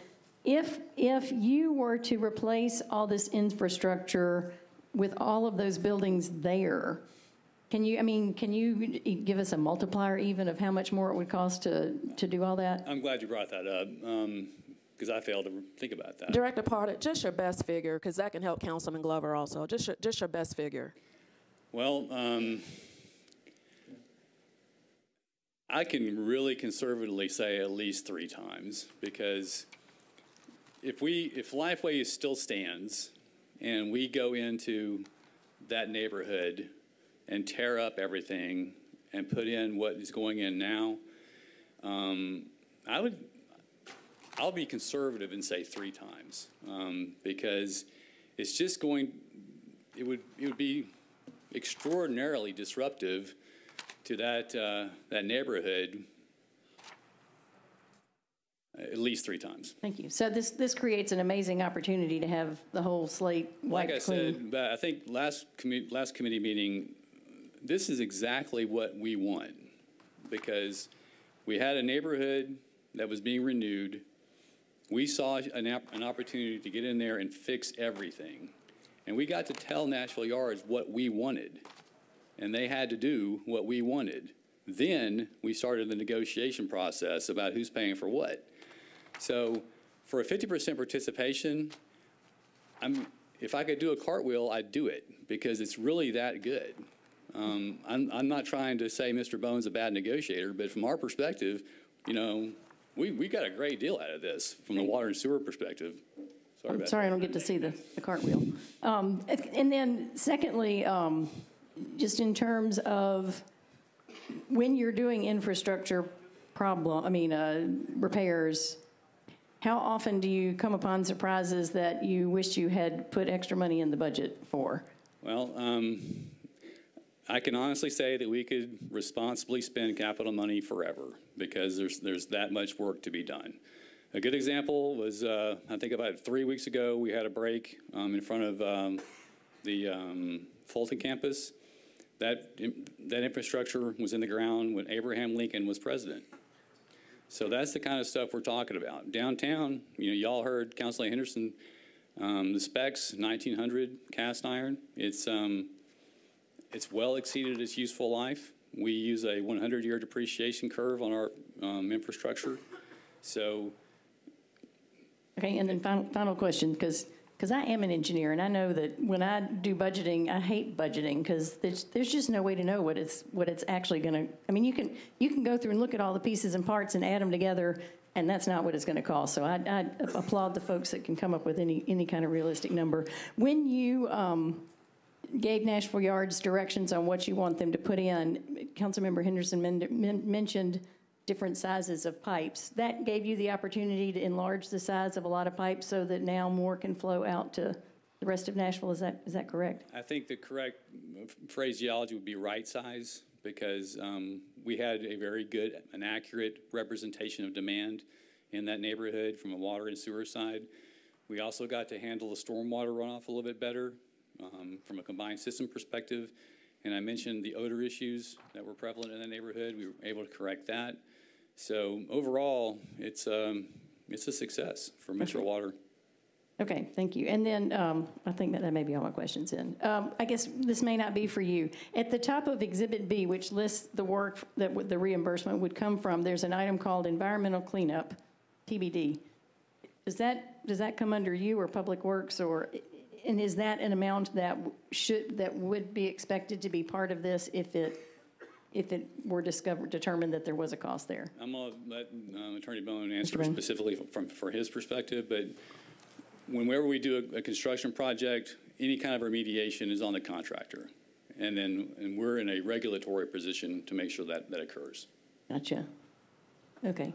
Does Mr. Brown have anything to add to that? Attorney Bone. Sure. Uh, I mean, there will obviously be some expense associated with that. We don't expect that to be a five or a $10 million expense if that's what you ask, but certainly we recognize that that has to be done, and we certainly recognize that that is on our risk. Gotcha. Okay, that's all my questions. Thank you. Thank you, Councilwoman Allen. Councilman Mendes. Thanks. Um, I don't have questions. Um, I do think uh, that, uh, so I'm going to vote against the amendment. Uh, To me, the pitch to constituents is along the lines of what Mr. Potter has been talking about. Um, All, all these things are on the long-term wish list for the city from infrastructure. This is a once-in-a-generation, maybe once-in-a-two-generation cost uh, opportunity to put it in the ground for lower cost. All the infrastructure is lower cost now than it would happen otherwise. Importantly, there's no tax increment financing here, so we're going to collect every last penny of the property taxes. And the split is $65 million worth of infrastructure to the developer and 15 million for Metro. Um, Frankly, we should do this, uh, th- this deal is easy to understand. Um, Some, there's some talk about, well, we can't fund employees, then um, we shouldn't do this. Um, You know, my view, I think, no surprise to anybody, the failure to get the appropriate revenue for the city last summer was a self-inflicted wound, and failing to pass this um, would just be another self-inflicted wound. This is an opportunity um, to, uh, once in a couple generations, to get a lot of infrastructure for a lot lower cost than we could possibly do it otherwise. So, thank you, Chair. Thank you, Councilman Mendes. Councilwoman Dow. I just had a quick question to ask, um, just to verify that I heard right. Is this property not in one of the redevelopment zones? I know we didn't collect tax before because it was part of Lifeway, but is it not in one of the redevelopment districts that we have downtown? Attorney Bone. It is not in a redevelopment district. Thank you. Thank you, Councilwoman Dow.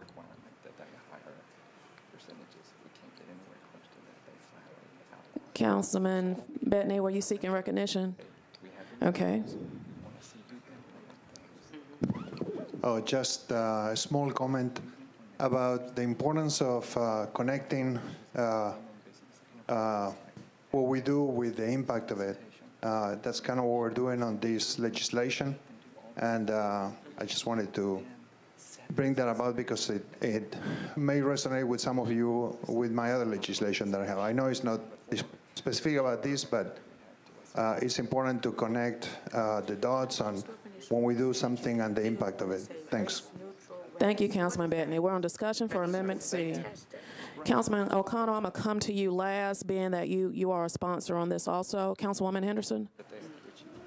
As long as we have a demonstrable. Uh, Thank you, Chair Vercher. Uh, I just wanted to clarify for colleagues that um, I too support a participation agreement for this project. I appreciate that our Water Department and our Public Works Department uh, is working uh, with this developer. So I am not against a participation agreement. I am simply doing due diligence as Vice Chair of the Public Works Committee to look at how we are participating and to what degree we are participating. So all Amendment C does is reduce that participation from $16.693 million to $11.487 million. So voting for Amendment C is not, uh, you know, uh, a, a negative or, or, you know, saying that you uh, don't support this participation agreement. Um, I think uh, Director Potter has spoken well to uh, the need for utility upgrades. I uh, do still have concerns um, that we have, you know, uh, some dollars going where I, I, I I feel personally it's unnecessary. But uh, that said, this is not, um, you know, cutting that all out, and specifically as it relates to streets and sidewalks. Uh, to Councilman Cooper's point, we do, colleagues, require other developers to build sidewalks related to their uh, development. So, um, uh, you know, I think it's appropriate that we're participating in the utility space, um, but I do not think it's appropriate that we are uh, participating there. And then further, as it relates to traffic signalization and uh, the intersection at 10th and Broadway, um, we went pretty deep on this in Public Works Committee as to what were the merits of improving that intersection. And why is that intersection so important comparatively to other intersections in our city? Say, like Trinity Lane, where three people have died in the last two years because they can't cross the street. Okay? So we are not putting appropriate levels of scrutiny on our buckets uh, of roadways that some of this is coming out of, our buckets of intersections. And so when we do participate in this agreement to pay in part for the improvement of a traffic signal related to Nashville Yards, that does indeed mean that we don't have sufficient funding to improve other intersections. So I have asked the Public Works Department, I have asked the mayor's office at the last uh, council meeting. No one has elevated 10th and Broadway other than the fact that it's slightly wonky and offset a little bit that it needs to be improved for a safety standpoint. If it needs to be improved as it relates to capacity, that is specific to this development and is incumbent upon this development to fund. So Amendment C looks at that uh, traffic signalization piece. It looks at the street and sidewalks, the things that we ask other developers all over this city to do. But in the utility space, that remains the same all the advantages that Director Potter spoke to remain. So Amendment C merely is bringing an extra level of scrutiny and fairness to this participation agreement, in my view. Thank you, Chair Vercher. Thank you, Councilwoman Henderson. Councilwoman Gilmore. Thank you. I just said I wanted, wanted to thank uh, Council Member Henderson for all of her hard work. I mean, she's really delved into the numbers and made a lot of calls. So I do appreciate that. And for the least listening audience, I, I do want them to know that for each council member, it is very difficult for them to get infrastructure in their community. So this conversation is not a frivolous conversation at all. So I just wanted uh, Council Member Henderson to know that I appreciated her. I had a question for um, Matt. Who is going to do the oversight, like the checkoffs, since this is a partnership? Do we get reports back? or updates as it relates to these projects, as it relates to infrastructure? Yes, ma'am. So um, all of this infrastructure, both the uh, 15.25 that would be paid for by Metro under this agreement, and in fact, actually, um, I believe all of the $79.4 million is actually public infrastructure. I'm not, not sure about that, but all of the infrastructure that becomes public infrastructure is our infrastructure. And before it can be turned over to Metro, whether it's the water department or Public Works, streets, signalization, has to be signed off on by the department. So our departments will be approving all of the infrastructure before we take possession of it. So they will be approving it? Yes. Okay, thank you. And then I just wanted to make um, one closing comment. A a- lot of times we uh, lean on uh, privatization for certain projects that we have, and whereas it may sa- save money, I think the issue that we run into as council members is that it may not always be equitable. So saving money does not always equate to equity, and I think that's what we're looking at in terms of projects in the, in our neighborhoods versus what we do for development and what they create in terms of jobs and how expeditiously they can do it, and then how much participation we have. So I think those, those are one of the things that we have to look at as we move forward. And I think everyone wants to see our city do great, but we have to continue to think of this as we continue to have more disparities growing in more neighborhoods and more communities. So whereas it may be expeditious and it may cost savings in the long run, it may not be cost savings if we have people that could have otherwise participated, not participating, and we're paying them in terms of government supports, uh, systems to keep them afloat. So we just kind of want to think about that in the long run when we say, oh, well, this is just a really great deal, or this was just so wonderful. But what does that mean as we continue to explore projects when we uh, let developers do them or we contract them out? Thank you. Thank you, Councilwoman Gilmore. Councilman Glover. Thank you, Chair. I'm really trying not to talk again because I, I would like to actually hear an answer, but I don't think we're there yet. So I have a developer in my district that has already spent nearly $100,000 on actual site work, et cetera, that's occurred. I had $500,000 under the Dean administration that was given to work on some of the stuff in my district, and we have not even had, not a shovel lifted yet on it. So it makes it really hard for me to agree with this. And while I appreciate the fact that we want to always look after downtown, downtown survives because my folks, other people in this district or in this this council represent people who feed into downtown, who work in downtown, and spend their money downtown.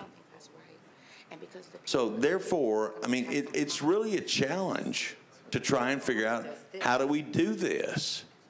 How, and when I ask the question, how do I go back and sell it? I'm sorry, I hadn't heard it yet. I've heard the same things I've heard over and over and over, but here's what I have not seen, nor what my folks have seen in my district. Anything happening. So, Madam Chair, I know I aggravate you sometimes. I apologize for that. However, I want to apologize for trying to watch out for what I'm supposed to do about the people who elect me and try and protect them on what my job is to make sure they're represented as well because we have failed my district. Thank you. Thank you, Councilman Glover. Councilwoman Henderson, were you seeking addi- additional recognition? You are not? Thank you. Okay. Um, Councilman O'Connell, you are last. That conclude, that will conclude our discussion, and then we'll finally be able to take a vote on Amendment C. Be brief. I will do my best. Thank you, Madam Chair. Um, I, I have to say, I, I'm going to give credit to Council Lady Henderson here. The, the diligence here is impressive, and yet I'm rising to say I'm, I'm going to discourage colleagues on this committee uh, from supporting Amendment C, and I'll, I'll explain why, and uh, you know, maybe the, the folks in District 12 can take some comfort from this. I'm to I'm to rewind for just a minute. As we think about these multipliers, as we think about how our public investment here is being leveraged, I also want to just look at this in, in that context of downtown and the rest of the city, because I am absolutely in favor of strategic distributed investment citywide. So I'm going to go back to November of 2016. You know, somebody who's championed uh, our pedestrian infrastructure for quite some time, I was excited for the letter dated November 29th, 2016, uh, under Director Sturtevant's hand, where the subject was upcoming sidewalk capital improvements in your council district.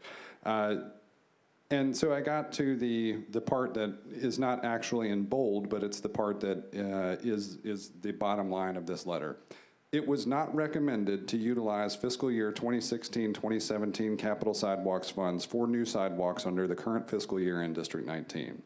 Now, I didn't read that, Madam Chair, and think to myself, well, you know, darn it, we're not getting any new sidewalks in District 19. I know we have built a lot of sidewalks in District 19. But what I thought is someday we're going to have the opportunity to leverage the overall the, the thing that is consistent with Nashville Next downtown is this extraordinary center of, of economic activity, uh, density, the things that people have said they don't generally want in their communities, in their neighborhoods, uh, that people in District 19 are generally content to have to some extent. And we're going to be able to build infrastructure even though we get zero dollars for actual sidewalk funds in District 19. Uh, this is how we, it, it, it's just a little different when we think about the scale. I know Councilman Cooper has referenced the concerns about, uh, well, gosh, wouldn't every developer do this? Well, the truth be told is not every developer is pulling properties off, you know, yanking them back onto our property tax rolls and offering these extraordinary multipliers. There are some cases where it is actually reasonable to offer the exception, and I would say that the Nashville Yards project is exactly that. This is how we get better infrastructure without the necessity of also asking for traditional capital dollars. And it is giving us extraordinary opportunities to leverage the scale, as Director Potter has noted, for wonderful mathematical opportunities. I would encourage folks to just let this participation agreement go. We've had fantastic discussion on it. Uh, and ultimately, uh, those, those infrastructure pieces that are a part of the gateway are going to serve other developments along Broadway, including the large Fifth and Broadway development. They're going to serve eh, all of the other private development that is not getting participation agreements along a new gateway to downtown and Broadway from the river well past where it becomes West End all need great, uh, great infrastructure. So this is a piece of that, and I encourage folks to support the original participation agreement without Amendment C. Thank you. Thank you, Councilman O'Connor. We have no further discussion. We are voting on Amendment C. All in favor? Aye. Opposed? Okay, we're going to need show of hands. Raise them high, no alligator arms. All in favor?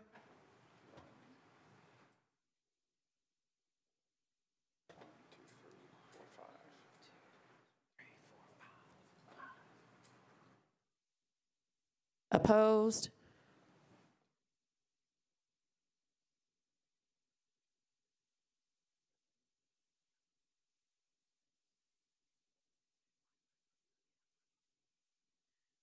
Amendment C fails.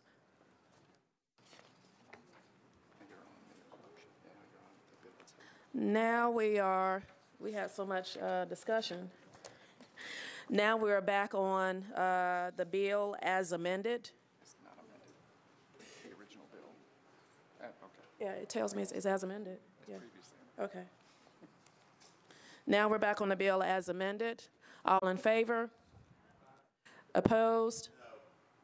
Okay, we're going to need show of hands. All in favor?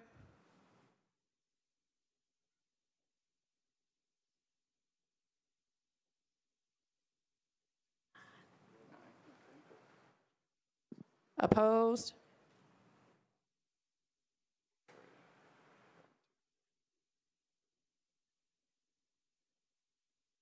Bill will be recommended. Now we're back at the top of our agenda. We'll begin with resolutions.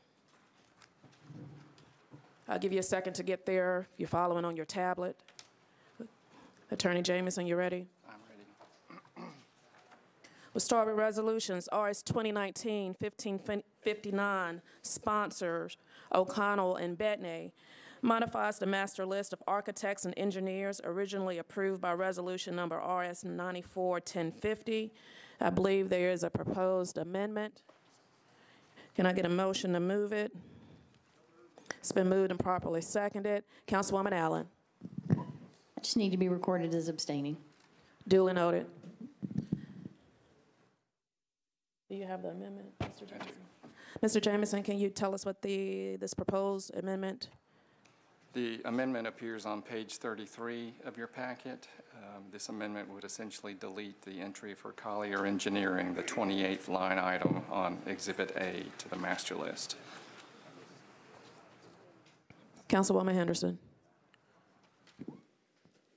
Uh, Thank you, Chair Vercher. Um, I spoke uh, last week uh, with uh, uh, Director uh, Hernandez Lane, um, as well as uh, uh, Auditor Swann, um, as it related to uh, this master list, and my concern that given uh, recent uh, news stories that indicate that uh, Collier Engineering has been uh, unethically uh, billing our city, um, that advancing this master list with Collier on it would be on our part as a council a tacit approval of them uh, as, as a firm. Um, and so at that time, um, I engaged uh, in uh, a conversation about kind of what the options were um, as related to, um, you know, suspension and, and, and so forth from, uh, from that list. Um, but uh, we have, I think, a, a variety of options here.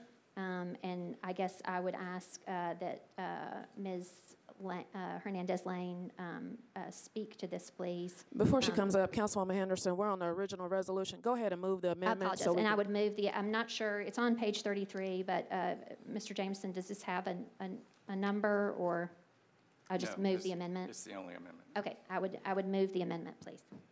It's been moved and seconded. Now we're on the amendment for discussion. Um, Director Lane, if you can come up.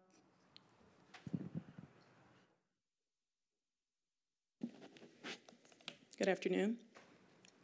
Good afternoon, Director Lane. Um, Can you speak to this, please? You, when we spoke on the phone, um, said that you were uncomfortable with removing this. Um, That said, uh, subsequent to our uh, speaking, you received a letter um, uh, from Ms. Cottrell, um, our compliance officer.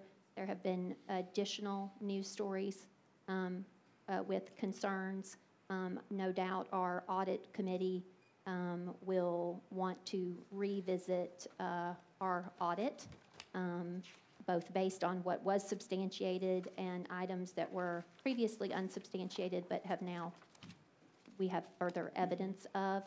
And so, uh, you know, we talked about a variety of approaches of how to address this so that this council would not be endorsing the unethical business practices of Collier.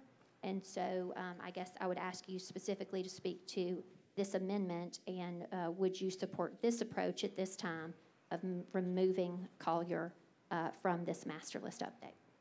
Um, Well, what I would first say is related to our previous conversation. um, We did not have any specific detail about any of the information that has since uh, given rise in the media. Um, And the, the scope of our conversation really was as it related to the audit findings at, or recommendations, observations, and recommendations at that time. As it relates to this amendment that you've put forth, um, what it does basically is that it leaves Collier Engineering on the Annie master list. However, it does not allow that they um, have any of the information that is specified in the procurement regulations to be updated. That information is very specifically the addition of architecture work as part of the scope of what they perform. Um, It relates also to the numbers of employees uh, that they have. Uh, The update also uh, modified their address as well as their specific point of contact uh, for procurement purposes. So all of that information is not updated and therefore added to the master list. Uh, What that means is that the information that was there previously, uh, that existing information would remain there. the impact on the procurement process is that if we were to solicit uh, services uh, in the area where the additional license that they've identified was required, they would not be able to meet that requirement and therefore not be eligible. So the additional license you speak to, so is Collier Engineering now bidding for architectural work? They are licensed by the state of, uh, the state of Tennessee to perform architecture work. That's not uncommon. We have a number of firms who are on the list uh, indicating that they have folks um, who are licensed in their firms as architects, and then folks who are also licensed as engineers. Given recent concerns, should we really be expanding Collier Engineering's capacity to work in that regard? I mean, if, I, I guess what I would ask is, um, what has precipitated this urgent need to update our master list when it hasn't been updated since 2012?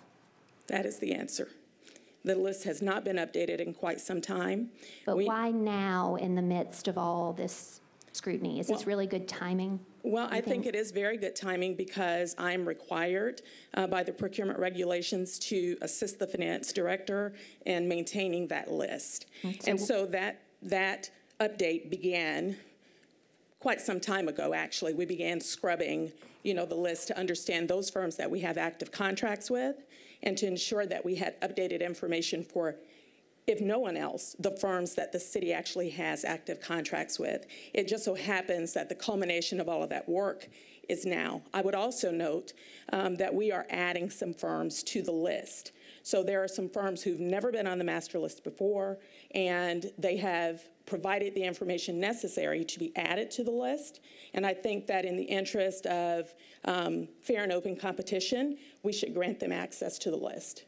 Oh, I absolutely agree. Um, So I guess, when did you begin the process to scrutinize the existing list and kind of scrub that and update it? It's been close to a year.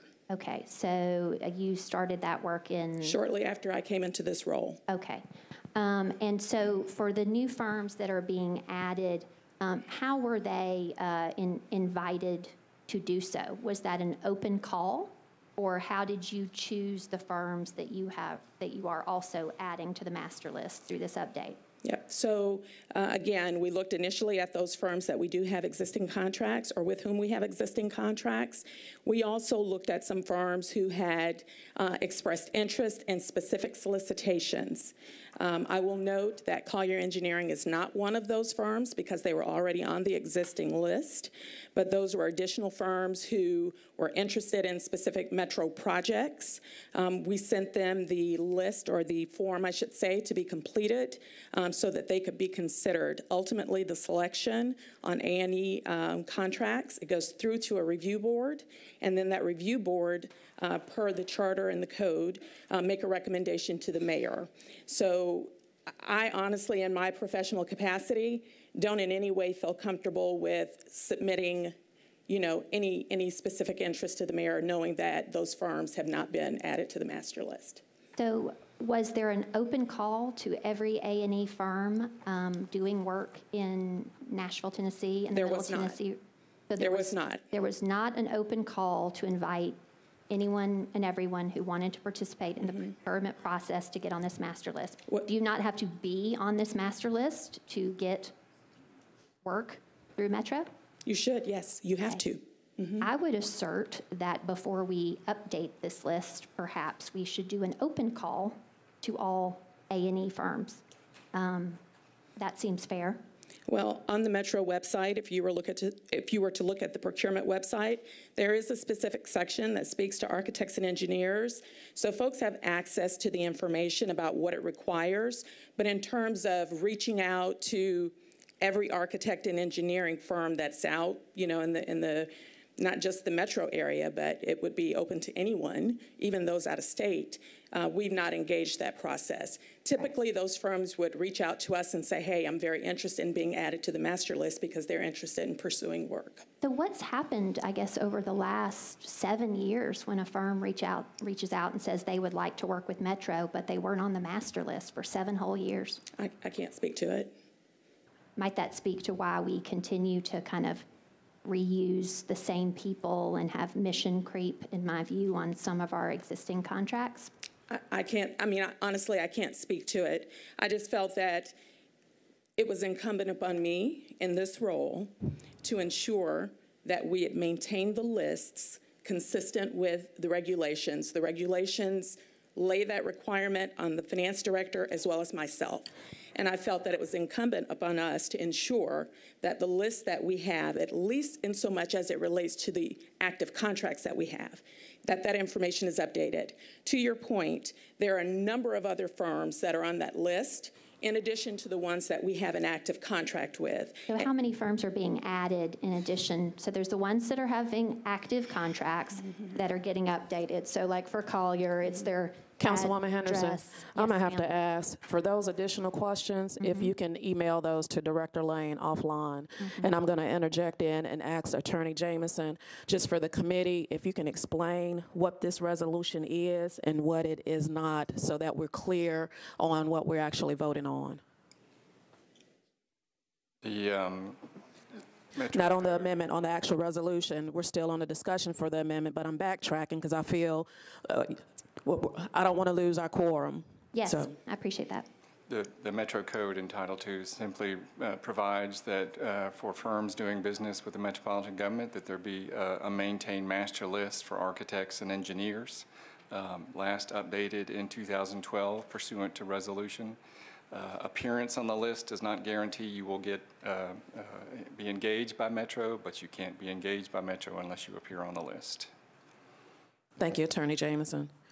I appreciate that. So, um, uh, Chair Vercher, if I may, then just about uh, the amendment, um, are there then, uh, Ms. Lane, any, um,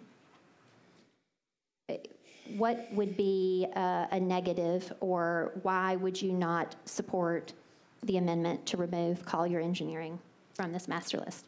With, with all due respect, you know, I, I do believe that it's not necessarily my job to support legislation, but it is certainly my job to carry out the legislation that you pass. Um, I will tell you again that if this amendment were to proceed, the impact to the list itself would be that Collier Engineering would continue to remain on the list. However, the additional license, which specifies the um, type of work on which they could compete and be selected, would be limited to the work or to the license that was included in the original list or in the list that was last updated. Okay, so with this amendment, even though we are, I think, colleagues making an important statement that we care um, how uh, Collier Engineering is represented and listed and participates in our procurement process, um, we would not be keeping them from doing any of the existing contract work that they are doing. They could just not expand the scope of the work that we're currently doing, which seems wholly appropriate given the concerns of the audit and otherwise, correct? And if, yes, and if I could, as a point of, of clarification, their existence on the master list as it is today does not have any bearing on their existing contracts. It does have bearing on their ability to be selected for future contracts. Right. So if this additional license was not added, then they would not be eligible for selection for work that required that license. It does not impact their ability to be selected for work that requires the license for which the master list reflects today. Does that make sense? It does make Okay, sense. And I, I think that's wholly appropriate, um, given current concerns. So uh, with that, colleagues, I would encourage your support of this amendment to remove Collier Engineering from the master list update. And I would ask Ms. Hernandez Lane, please, you would please work with this council to make sure that your department, through some public venue, press release or otherwise, invites wholly, fairly, transparently, openly. Absolutely. All A and E firms in the region, nation, whatever, to, to get on our list. Because competition and fairness in this process, I'm sure you would agree, um, uh, behooves our, our, our citizens rather than the perception among many that, you know, that the work just keeps going to the same people it's always gone to. Thank you so much, Councilwoman Henderson. Councilman Pridemore. Ma- Thank you, Madam Chair. Um, First off, I- I I appreciate the opportunity to speak on the amendment, which is uh, concerning the deletion of an engineering firm uh, rather than the addition of others. Uh, That's something uh, on the original bill to discuss. But my, my concern is, here we are, again, um, we're, we're, I, I don't, I don't want to say destroying the future, but we're, we're making a decision based on news media reports. News media reports. Yes, some of these reports were followed upon by Metro government, and which they should be. Uh, but th- th- there are, I don't think it has been properly vetted by, uh, Collier, I think, has responded to the initial uh, statement made or uh, by the news media, and I thought was a valid uh, response and uh, something that I'm, that occurs. I'm, I'm, I don't want to say frequently, but it does occur because it occurred to Metro government. Yes, we should be concerned, but concerned enough to destroy someone's future because of of uh, uh, statements made by the news media. Heaven forbid if we every time the news media made a statement about us that we would start they started investigating us, we wouldn't be here. Several of us wouldn't be. So I just I, I don't want us to make a, a decision based on innuendos and information that has been back that hasn't been properly vetted. Yes, some of it has, but not all of it. So why should we? But all of it's been brought up. So why should we uh, try to destroy someone that's been a very valuable asset to the metro government? And if you look back at some of the cost uh, uh, variations between them and others, uh, you can see where they have uh, actually, um, we, Metro government has benefited on several occasions by their work, uh, selection of them in the process. So I, I just want, I just want, I'm pleading with our members of this uh, committee to use your, I mean, think about what we're doing here that, uh, and why this has come up and why this amendment is here. This is not the amendment from the, from the sponsor of the original bill, original resolution. So I just ask that, uh, use the same thought process that if it was you that had been named in a, in a news article about committing something without being properly vetted. Thank you. Thank you, Councilman Pridemore. Director Lane, I don't, I don't know if you're the, the appropriate body, but um, as it relates to the, the engineering firm in question, are they still, I bel- I believe they're still undergoing investigation, so there is still a process that hasn't been finalized yet. I just think that's important for the viewing, the viewing audience to know that um, the, the process isn't, isn't finalized yet. The investigation is still uh, ongoing. That is correct. Councilman Glover. Thank you, Chair. Uh, Mr. Jameson, uh, and actually, Chair, I'm sorry, I probably jumped ahead of myself on the, the question I thought I wanted to ask. We're on the amendment. I don't want to get out of line on this. Um, if, if we need to ask about the amendment, I'm fine with that. I want to ask the procedure after the, the amendment vote, and I would like to be recognized to talk about a timeline of perhaps what might be appropriate. So I, I want to be very cautious not to ask the wrong questions. I want to be, I want to value everyone's time. So my, my question probably is not specific to the amendment. And when I pushed my button, I kind of thought it was, but I made a mistake. So if you'd like, we'll vote on the amendment. Then, if you wouldn't mind, Chair, I would like to come back and talk about a timeline. Thank you. Thank you, Councilman Glover. Councilman Pulley. Thank you, Madam Chair. Um, Councilman Pridemore covered uh, one of the things. I agree that, uh, it- that ba- basing any uh, decision on a news media report is, is a little bit irresponsible of us. I'm, uh, I- you know, I think it's very important for us to uh, scrutinize, and it's very important for due process to occur during this scrutinization. So I think I'd much rather deal in facts. I have a couple of questions, uh, one of which was already answered, uh, that there is still an ongoing review. Um, uh, So my que, uh, I probably should direct this at, uh, to Mr. Jameson.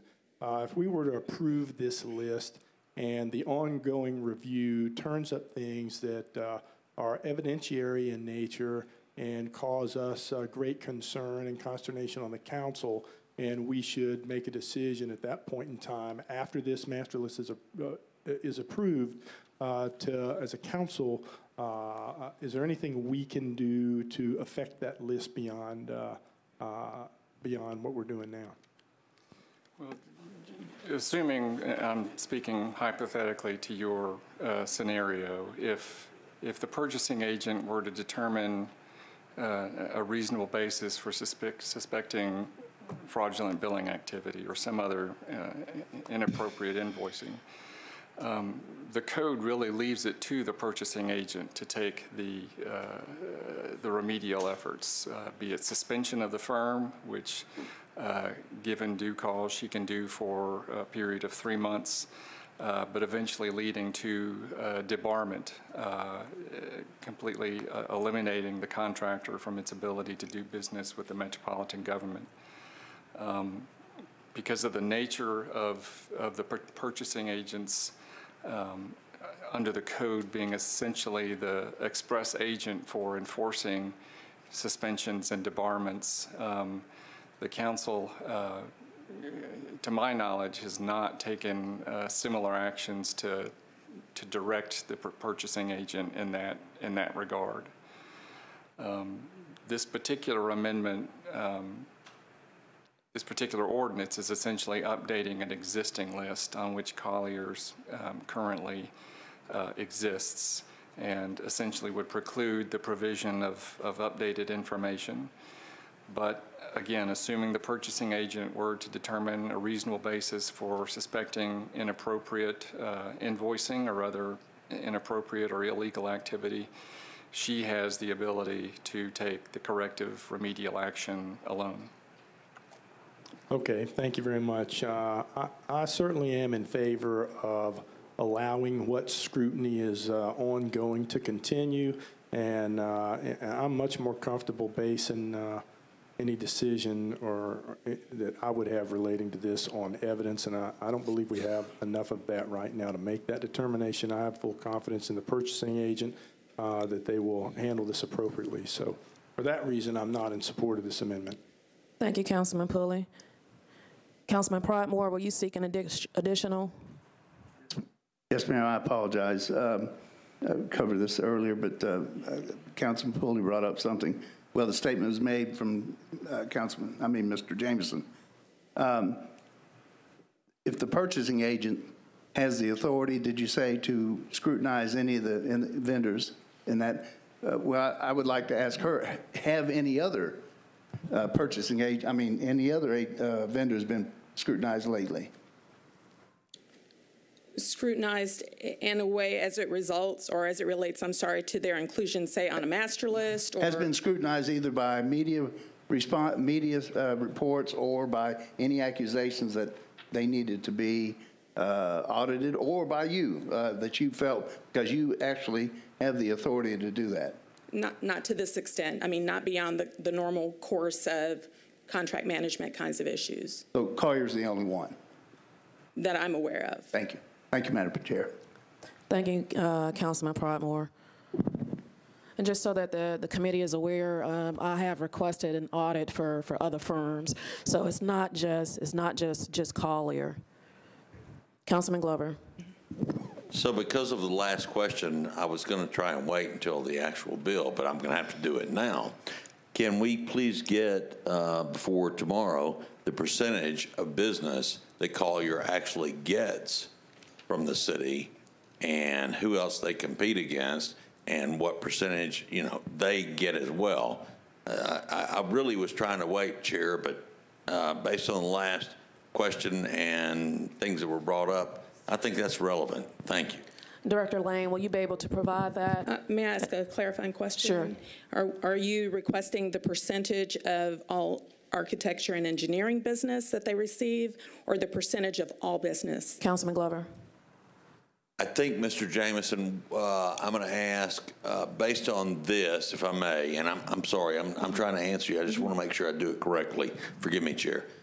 Based on the amendment here, um, is that a relevant question on, not, not, not, not that it's a relevant question. Should I do the architectural or should, should I do as a whole, uh, based on the meaning of the uh, amendment? So what the resolution is doing is approving Collier's architectural addition. Uh, uh, What I would assume that means is that their work has been previously engineering. But what you could ask Ms. Lane to do is to provide to you the percentage of engineering work let by the metropolitan government that Colliers has received since the institution of their contract. And then, I guess, in an abundance of caution, have, the- if they've done any architectural work uh, prior to entry on the list, uh, that percentage as well. Okay, Chair. So, uh, again, I'm trying not to waste any more time on this. Uh, Based on what uh, you've, you've said, Mr. Jameson, if they can provide information tomorrow on that specific, uh, and again, Chair, forgive me, but when, when the last question was brought up, or the last comment was brought up, I felt like I, I wanted to make sure I understood it. So, uh, thank you for indulging me, and I will wait until we get on the actual bill. Thank you. Thank you, Councilman Glover. Director Lane, did you, um, and can you please uh, forward that, uh, that information to the commit, well, to all council members um, through Mr. Jameson? Will do. Councilwoman Henderson. Thank you, Chair Vercher. I just wanted to take the opportunity to follow up um, on the comments of Councilman Pridemore and Councilman Pulley um, to make sure that it's very clear. Um, Councilman Pridemore used a very strong word, destroy. That's inappropriate.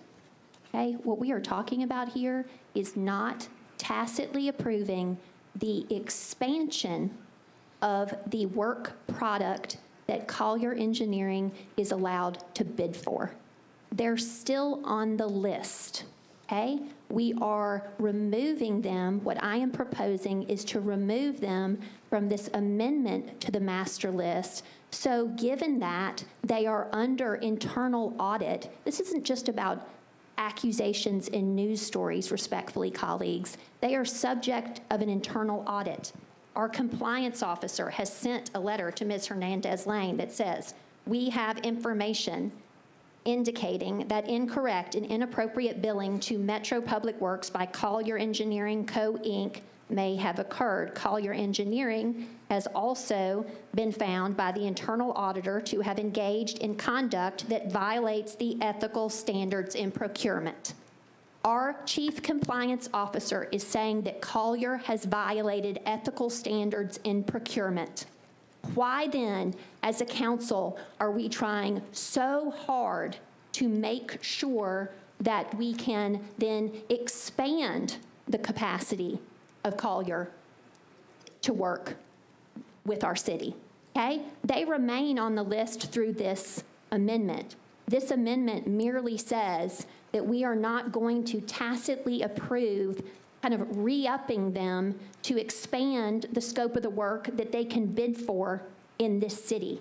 I think at a minimum, colleagues, that's what we should do, given the internal audit, given the letter of uh, the uh, chief compliance officer, and respectfully, the uh, indications in the news me- media are from freedom of information requests wherein Collier has misbilled this city egregiously.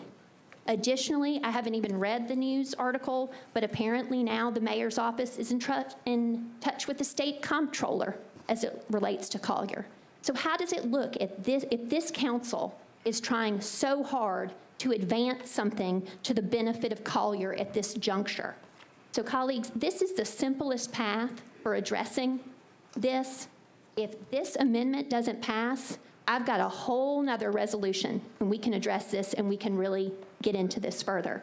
But this amendment is the best way to address this at this time. It effectively maintains status quo for Collier and does not uh, it, it have us expanding what they can um, apply for. I certainly hope that, and Councilman or Mr. Jameson alluded to, I hope that you know the Russian concern is not because Collier is already in this architecture space with Metro, because that would not be appropriate. So if they're not already in that space, what's the concern And um, I, I would invite colleagues, please, let's, I mean, let's, let's do what is appropriate at this juncture. Councilman Pridemore's assertion that this destroys this firm is inaccurate and inappropriate, respectfully. And so I would ask, please, that you support this amendment. Thank you, Councilwoman Henderson. Councilman Pridemore. Thank you, Madam Chair, and since I was addressed by my name, I will respond by that. I've Floor is tried- yours. Try to avoid that. Council Lady Henderson made the statement that uh, I said destroyed uh, futures. That's correct. I stand by that. They have been singled out, obviously singled out. No other firm has been scrutinized. Yes, by allegations, and, and there are some that have been, one that's been sub- uh, substantiated, but again, we all know the caliber of, of what, what, what took place. All I'm asking for is due process. My God, this is the United States of America. Are we going to eliminate somebody? And I know the list. I, I'm sorry, I'll, I'll calm down. I'm, I know the list and, and what it, the- that they're going to remain on the list, but I also know what a censored list is. And that's exactly what that is. Madam Chair and Council Lady Henderson, it is a censored list singling out one particular firm. Now, if we're going to do this right, investigate it and vet it, completely vet it out, go through the process, and if it's, if the information comes that when it's concluded and they still feel the same way, we feel the same way, or, or the, the, uh, um, purchasing agent feels the same way, so be it. By the way, she has the right to do it without our consent. So if she feels that strongly about it, then she do it. Why is she, why is this amendment even here? I want to thank, uh, thank you again, Madam Chair, and thank you respectfully, Council Lady Henderson. Thank you, Councilman Pridemore. Councilwoman Dow. I was just going to say that, that I'm not going to support it either. I think we should, we don't know what the other firms are doing. And I really appreciate that you moving forward with ordering the audit to look at all the different ones so we can get a good assessment of what the process is, uh, what type of conduct is happening. I served on the audit committee uh, last term for four years, and I think it's best to just get full information. So I'm not disagreeing with uh, Council Lady Henderson, but I do believe in um, allowing all the facts and the information to come out so that we can make a decision. So that I ask that we uh, do not support this. Let's move forward, get the information, and then make our decisions from there when we can look at every firm on that list. And I think, um, um, you know, I will say this is that I do believe that they have been somewhat pulled out and picked out. Uh, Uh, um, they do a great job in their engineering work, and it shouldn't be conflicted with some other practices there. So I think the practices that's happening with the city should not be uh, overshadowed of the work that they do. We just need to get all the information, and if the information that comes from the audit substantiates uh, what uh, we believe, then we can make an uh, assessment and a determination then of how to move forward. So I said we just move forward with not supporting this, and let's get on through the agenda. Thank you so much, Councilwoman Dow. Vice Chair Rhoten. Thank you, Madam Chair. Um, Someone from the administration, if you could answer, do you know, we're looking into Collier, do you know when we might get an answer back on what we find? Attorney Cooper? So Patsy Cottrell, the Chief Compliance Officer, sent a letter to the comptroller Friday afternoon. Um, There is a provision in state law that if there is a, um, uh, if you receive information, information that could reasonably lead someone to believe there had been uh, unlawful activity, which is a defined term in the state law, uh, then you have a, a mandatory obligation to report that to the comptroller. Uh, the mayor consulted with me. Um, it, we came to the conclusion that based on the, the um, information that had been provided, then we had the obligation to inform the comptroller. I have no idea what process they will go through or, or if they will um, look into it. Uh, that's really beyond our control. We've done what we felt like we um, had to do under state law, and so um, it, it is with Collier. I mean, with um, the comptroller. Set, on a kind of a parallel track, the finance department and the purchasing agent are reviewing all of Collier's contracts and the billing to determine if there are any irregularities. And so that, that is underway now. Thank you. Um, Mr. Jameson, it's been six years since we've updated this list. Is there going to be any harm in waiting another month, two months, three months to just kind of see what we find out about Collier or anybody else that might be out there being investigated? Then we can update the list? I would suspect not, but I would probably suggest that Ms. Lane has a better answer to that than I do. Director Lane. Um, There, there are new firms that are proposed to be added to the list um, that could directly impact pending uh, procurement activity. So to the extent that those firms would not be added and therefore would not be available for selection, um, and that could potentially, would potentially uh, directly impact an open solicitation, there is that potential harm. Have we not added anybody to the list for the last six years? Not to my knowledge. And we've done okay without adding anybody to the list? Not to my knowledge, we've, you know, we've not added anyone, but I am expressing directly to you that it would have an impact on a current solicitation. Or it could potentially have an impact on a current solicitation. Madam Chair, I'm, I'm going to make a motion to defer this for two meetings so we can get a list of what this will impact and how much it will impact it to see if we can delay the implementation of this new list until we find out something about the entities being investigated. Okay, it's a proper motion for deferral for two meetings, and it's been properly seconded. All in favor? Aye. Opposed? Councilman Glover. So, Mr. Jameson, I want to make sure, we, are we only deferring the amendment? Are we deferring everything? There was a motion for the resolution. Yeah, I'm, but, but I'm just trying to make sure I understand what we're going to do. Right, we were on the amendment, but Councilman Rhoten uh, submitted a motion to defer, which takes precedence, so the resolution. No, that, that's fine. I just want to make sure I understand. Okay, then please, uh, uh, then I'm a yes on deferral. Thank you. We've, al- we've already voted. Well, I Okay. just wanna make sure I Uh, understand. Councilman Bedne. Yeah, I pushed the button. I'm, I know I'm not in the committee, but I'm the only with the background of architecture, and I wanted to share what I knew about this, and now I won't get to speak. So I was just hoping that in the future, if you can uh, let me speak, even if I'm not a committee member, uh, to share what I know about the particular issue. Thank you, Councilman Bedne. Our committee, we recognize committee members first. You'll have two weeks uh, if you want to comment then. Councilwoman Gilmore, are you seeking recognition? Thank you, Chair. I did have my, mind pushed. It's just a long, you, we were on the amendment. Councilman Rhoten made a motion to defer, which takes precedent. But Okay. You can go ahead. All right, just want to be clear that mine was pushed.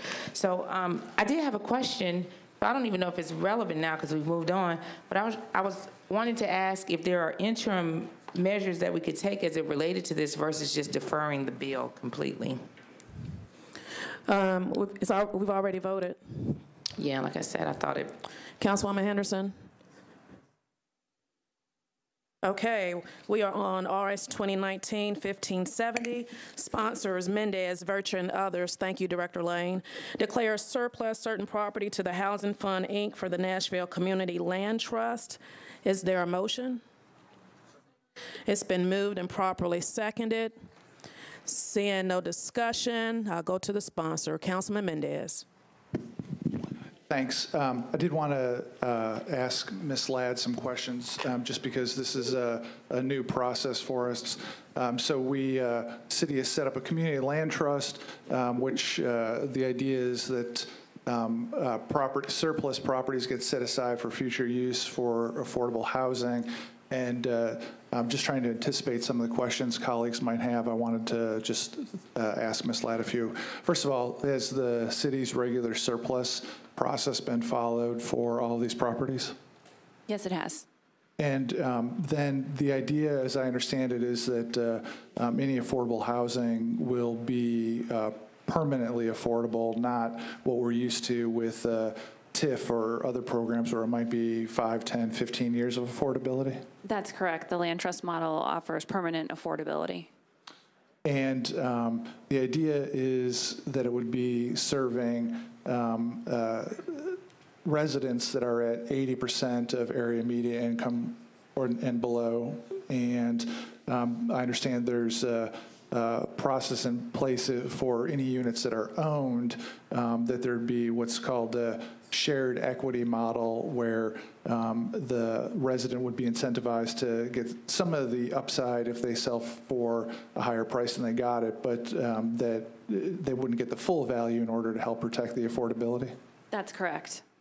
And, th- and then I guess uh, one thing that I, I've heard from some people is wanting to make sure that um, affordable units don't end up being um, uh, like little mini short-term rental hotels. Um, and, uh, and I guess I understand those won't be allowed in, in properties that go through the community land trust. That's right. I do have, there are um, two folks here from the Housing Fund, which is the entity that is um, incubating the Community Land Trust. They can speak to the specifics about the regulations for homeowners um, with, as it pertains to how long, you know, their residency and any short-term, uh, right, prohibit, prohibitions around short-term rentals. That, that'd be great if we could hear from them. Thank you. Can we have the representatives come up?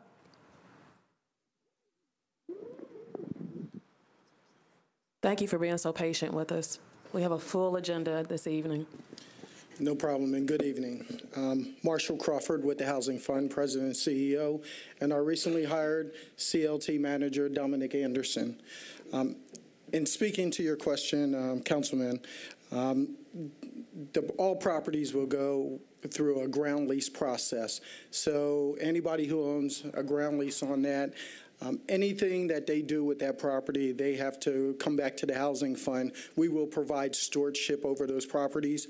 Um, those individuals will not own the land, but they will own the structures, and they still, any amendments or any changes to those structures, they still have to come back through the housing fund for any, um, any changes that they're willing to make on it. And, and then uh, what about uh, the short-term rentals? Yes, so that's the same thing on a short term. No short term rentals are permitted in the ground lease as indicated. Individuals have to live in their units for a minimum of nine months. They have to be in there for nine months. Any changes that they make on that, they also have to come back. If they want to sublet that to us or to anybody else, they would have to come back to us and get approval. If there is a sublease that is put on it, then we will get a lease agreement and we will bring that back before the Barnes Commission and letting them know of anything that for their approval on that. All right, uh, thanks. And um, just before I uh, uh, put the mic down, I want to make sure to thank the Barnes Fund and Ms. Ladd and Mr. Crawford.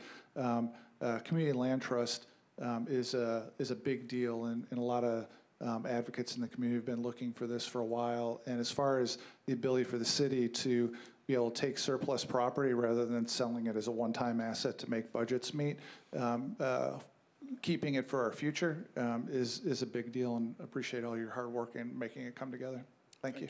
Thank you. Councilwoman Allen.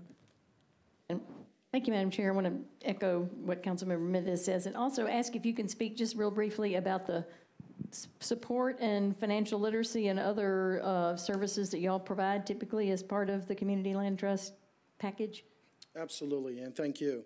What we've been trying to do is um, operationalize for, there are 258 community land trusts around the country, and most community land trusts are known as developers. So they, they get donated property and they develop it and keep it in perpetuity. For the housing fund, it, right now it is a program, and it's a program for the simple fact that we're trying to determine um, its sustainability. Um, in that process and hiring, the resources that we got from the mayor's office was to um, provide support and operationalizing, hiring a, a CLT manager, and providing educational materials. So we're in the process of developing educational materials, not only for the communities that these properties are located in, but also for developers and partners. Um, lenders are going to play a critical role in this as well. Um, we have Fannie Mae and Freddie Mac who are also interested in being partners with us. Um, we have resources. So we are doing everything that we need to do to develop those materials to make sure that we're educating the community uh, um, on this process and what the Community Land Trust has to offer. Great, thank you. Thank you, Councilwoman Allen. Councilman Glover. Thank you, Chair. Well, I'm going to sound like the meanie that a lot of people think I am. If we give 10 million per year for buying property, for doing various things, is this going to be on top of that? So we've already given them $10 million uh, to utilize in the budget, in the operational budget. And so now if we pass this, then is that on top of, or would it come off of the 10 million we've allocated? Is Director Lomax O'dneal over there? Oh, I see her. Uh, uh, Councilman, this one does not appropriate additional funding. It, this, this is uh, being taken care of from uh, allocations that have already been approved by this body. Okay, so I, I guess I'm just trying to, as because that was the thing that was, I was trying to figure out on the surplusing of it.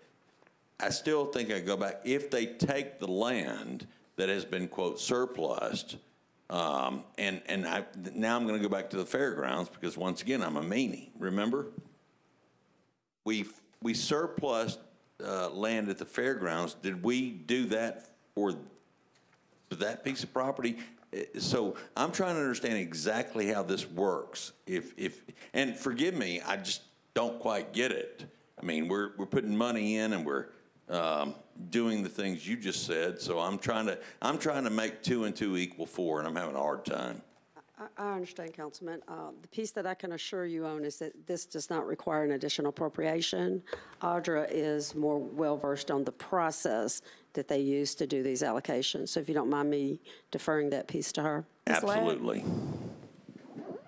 Thank you, Councilman. Um, The Barnes funding of 10 million is a, as you know, is an operational transfer that uh, is competitively for, people, uh, nonprofit developers competitively send in applications for that. In addition to the 10 million, they can request um, property that is in our current back tax portfolio. So that property that um, was offered on the courthouse steps. No one purchased it. It comes into our back tax portfolio. Then that, that portfolio gets evaluated by planning and codes as to whether those lots are buildable. Some of them are not, some of them are. If they're buildable, then first priority goes to um, the developer, development of affordable housing through the Barnes Fund. So it goes back tax, evaluation, through the Barnes Fund to folks like the Housing Fund for the CLT and other affordable housing purposes. Okay, so given the fact that the land was surplus at the fairgrounds, uh, is this going to be a part of that? No, n- no, this is a separate, a totally separate process. Help me understand why. This is back, this is back tax property. This is not- only back tax Yes, sir. property? Oh, okay. Yes, sir. All right, well, thank you. Thank you, Councilman Glover. Seeing no more discussion, all in favor? Opposed? We're going to need show of hands. All in favor?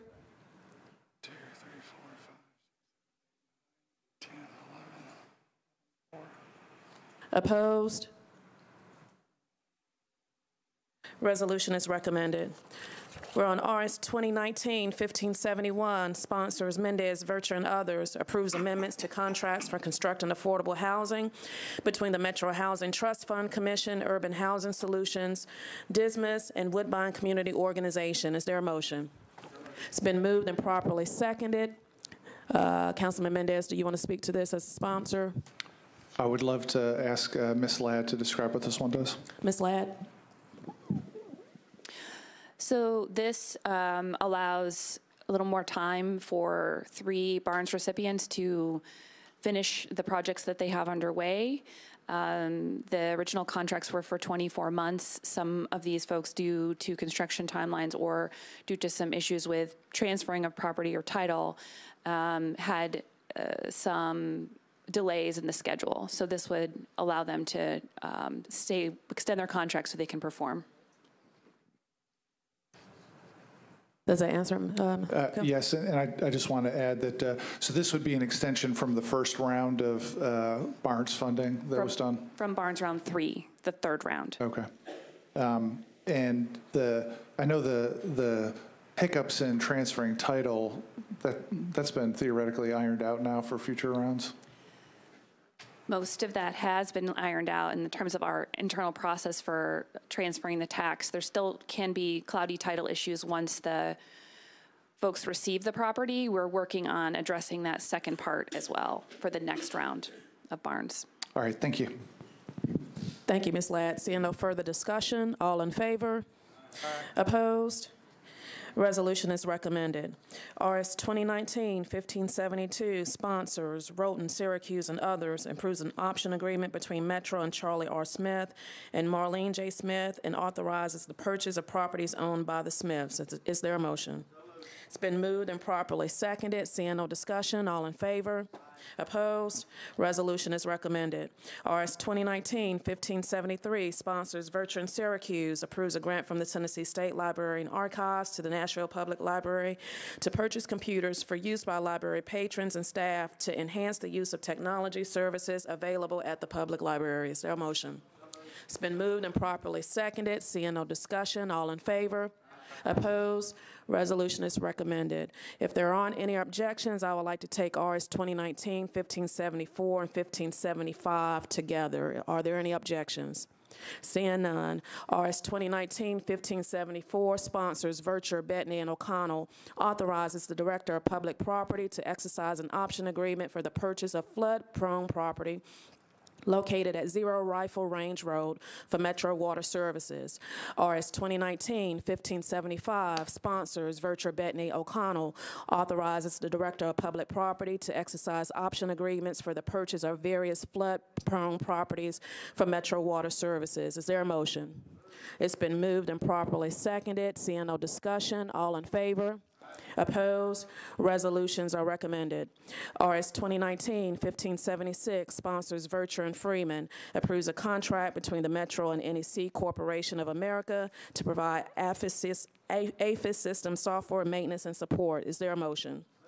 It's been moved and properly seconded. Seeing no discussion, all in favor? Opposed? Resolution is recommended. RS 2019-1577 sponsors Vercher Freeman Gilmore approves an application for a grant from the Tennessee Highland Rim Healthcare Coalition to the Nashville Fire Department for a utility trailer to rapidly transport and deploy cache medical supplies and equipment. Is there a motion? It's been moved and properly seconded. Seeing no discussion, all in favor? Opposed? Resolution is recommended. RS 2019-1578 sponsors Vercher, Freeman, and Gilmore, approves a grant from the Tennessee Highland Rim Healthcare Coalition to the Metro Nashville Fire Department for a, for a utility trailer to rapidly transport and deploy cache medical supplies and equipment. Is that a duplicate resolution? No, one's an application. Okay, got it. The application and the, and approves the grant. Okay. It's been moved and properly seconded. Seeing no discussion, all in favor? Opposed? Resolution is recommended. If there isn't any objection, I would like to take RS 2019, 1579, 1580, and 1581 together. Seeing no objections. RS 2019-1579, sponsor Vercher, authorizes the Metro Department of Law to compromise and settle the personal injury claim of Tyler J. Ivory against Metro government in the amount of $13,500. RS 2019-1580, sponsor Vercher, authorizes the Department of Law to compromise and settle the personal injury claim of Andrea Crenshaw against Metro in the amount of $30,000. RS 2019-1581, sponsor Authorizes the Metro Department of Law to compromise and settle the personal injury claim of Patricia Rose against the Metro government in the amount of $12,500. Is there a motion? It's been moved and properly seconded. Any discussion? Seeing none, all in favor? Opposed? Resolutions are recommended. RS 2019-1582 sponsors Vercher and Bedne approves an amendment to a grant from the Tennessee Emergency Management Agency to the Department of Finance to provide public assistance to complete repairs and/or replacement to facilities damaged during April and May 2010. Is there a motion? It's been moved and properly seconded. See no discussion. All in favor? Opposed? Resolution is recommended. RS 2019-1583, sponsors Vercher Gilmore, approves a grant from Boulevard Bolt, Inc. to Metro Government for the use and benefit of the Metro Nashville Social Services Commission to benefit the How's Nashville program to aid homelessness. Is there a motion? It's been moved and properly seconded. Seeing no discussion, all in favor? Opposed? Resolution is recommended. RS 2019-1584, sponsors Vercher Gilmore, approves a grant from the Association of Food and Drug Officials to the Metro Board of Health to fund travel expenses for health department staff to attend food environmentalist training. Is there a motion? It's been moved and properly seconded. Seeing no discussion, all in favor? Opposed? Resolution is recommended. RS 2019-1585 sponsors Vercher Gilmore approves a grant from the Association of Food and Drug Officials to the Metro Board of Health to provide funding for staff members to attend the FDA Southeast Regional Seminar. Is there a motion? It's been moved and properly seconded. Seeing no discussion, all in favor? Opposed? Resolution is recommended. RS 2019-1586 sponsors Vercher and Gilmore approves an amendment to a grant from the U.S. Environmental Protection Agency to the Metro Board of Health to fund an ongoing program to protect air quality to achieve established ambient air standards and protect human health. Is there a motion? It's been moved and properly seconded. Seeing no discussion, all in favor? Opposed? Resolution is recommended. RS 2019-1587 sponsors Vercher and Gilmore approves an amendment to a contract with Vanderbilt University Medical Center and the Metro Board of Health to, to participate as a member site in the Centers for Disease Control, Tuberculosis, Epidemiologic Studies, Consortium Studies. Is there a motion? It's been moved and properly seconded. Seeing no discussion, all in favor? Opposed? Resolution is recommended. RS 2019-1588 sponsors Vercher Gilmore approves an amendment to a grant from the Tennessee Department of Health to the Metro Board of Health to provide oral disease prevention services for school children in ages K-8 in qualifying public schools. Is there a motion? It's been moved and properly seconded. Seeing no discussion, all in favor? Opposed? Resolution is recommended.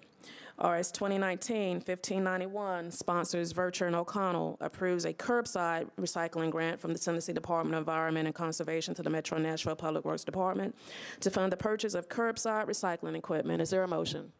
It's been moved and properly seconded. Seeing no discussion, oh, we do. Councilwoman Henderson.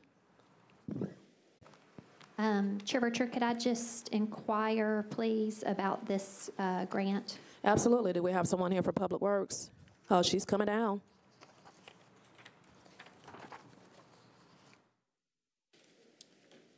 Yes, Sharon Smith from Public Works. Hey, Sharon, can you Hey. speak to this grant, please? Um, The amount and specifically how it's going to be uh, utilized, please? Yes. So this is a grant that we got from the uh, state of Tennessee. It is for two, just shy of $2.4 million, and it will be used to offset part of the uh, equipment cost to go from once-a-month curbside recycling collection to every other week curbside recycling collection. Okay, so it requires a cash match then? Yes, ma'am. So um, from a budgetary perspective, where is that going to be coming from? Okay, so we also have um, upcoming another $250 grant that uh, we'll be bringing to the council in the coming uh, weeks. 250,000 or Yes, 200? okay. 250,000. And a, um, another application that's still out there that we haven't heard back yet on for $590,000. Um, This year, there was a um, $1.5 million uh, budget amount put in for capital purchases, so we're trying to make up as much of that difference as possible. So this council then approved $1.5 million towards this effort, um, but you require a cash match of 2.3, so you are seeking grant funding of $750,000 To make up that difference, to yeah. make up that difference. Now, the only, the only issue is we know we'll get the 250, we're not sure about the, the rest, so that would be the only um, difference is we may need a little more money. But I'm very positive about these grants. Okay, thank you. Councilwoman Allen. Thank you, Madam Chair. Uh, Ms. Smith, could I just get you to talk about how this fits into the Zero Waste Master Plan and what what impact this can have on moving us closer to that goal. Oh, absolutely, because a once-a-month curbside recycling program, I I believe we're actually the only city in the United States that has a, um, a program so infrequent. And it's difficult for residents to build a habit around. Once it goes every other week, it becomes easier. People don't struggle to remember when to set their card out. And it also in- usually increases participation in tonnage. And of course, um, everybody knows about the Rutherford, uh, the landfill in Rutherford County that will be closing. And the more uh, of the, the material that we're landfilling that we can divert to recycling, the more it's going to save us down the road. So this is an important piece to offer our uh, residents uh, that, that whose property taxes cover this a more frequent and reliable um, curbside recycling program. Thank you. Councilwoman Henderson. If I may, Chair Vercher, just one more question. Ms. Smith, I know y'all did a fairly small uh, audit um, that said most of our recycle stream was, uh, or not most of it, but the primary corruption of our stream was uh, plastic bags. Yes. So internal to their home, people put recyclables in sort of a plastic grocery store bag, and then they dump that into their cart. Um, Can you speak to what we are going to do from a prominent visibility standpoint, whether by sticker or embedded on the actual lid? I mean, what are we doing in that regard? Because, you know, fine, we've got more tonnage, but if the tonnage is, you It's know, trash, yeah. is, is trash, I mean, so can you speak to how with the ex- expansion, you're likewise going to address that problem, please? Yes, that's a great question. We've already started trying to address that uh, by updated decals that go on the carts, and we do with our new recycling carts have what's called an in-mold label, so it's it's on there. But in addition to that, we've started uh, route audits, and we're trying to chip away at it. So we have somebody who drives around before the trucks. And of course, it's one person, so he can only do one route uh, a day, but he's out there, you know, every day and putting tags on the carts. They're little oop stickers that explains why their recycling wasn't emptied. So somebody comes home, they see that sticker, they lift the lid, they call in, and we're getting the address from the gentleman and entering it into the hub. So when they call in, we can tell them, oh, you, you know, bagged all your recyclables. As soon as you resolve that, we'll come back out and pick it up. So that's kind of a, slow part of the process. But in addition, we're going to be getting some money specifically for education around every other week recycling. And you're absolutely right. One of the most important things we have to do is to, to, to not ge- just teach people to put stuff in a green recycling cart, but to teach people how to recycle right so that we don't end up with, you know, a lot of good recyclables in plastic bags that don't get recycled. So then, from a budget and finance perspective, because I think we as council members often hear, and you've seen kind of in national media, um, and I know it varies depending if you're on the West Coast or otherwise, and kind of, you know, where does the recycling go? And so there's been somewhat of a narrative that, you know, this is kind of a, a loss for cities. Um, I know that is true specific to glass recycling. Um, but can you speak to, from a budget and finance perspective, us expanding the recycling, having the program that we do? What is the kind of the, the, the cost benefit analysis for us um, as it relates to landfilling, but also, um, you know, are we are we breaking even on this, so to speak? Oh, I mean, from the beginning of the recycling program, we've never broken even. Recycling is always going to have a cost associated with it, but it also has a cost avoidance by not having the additional landfill tipping fees.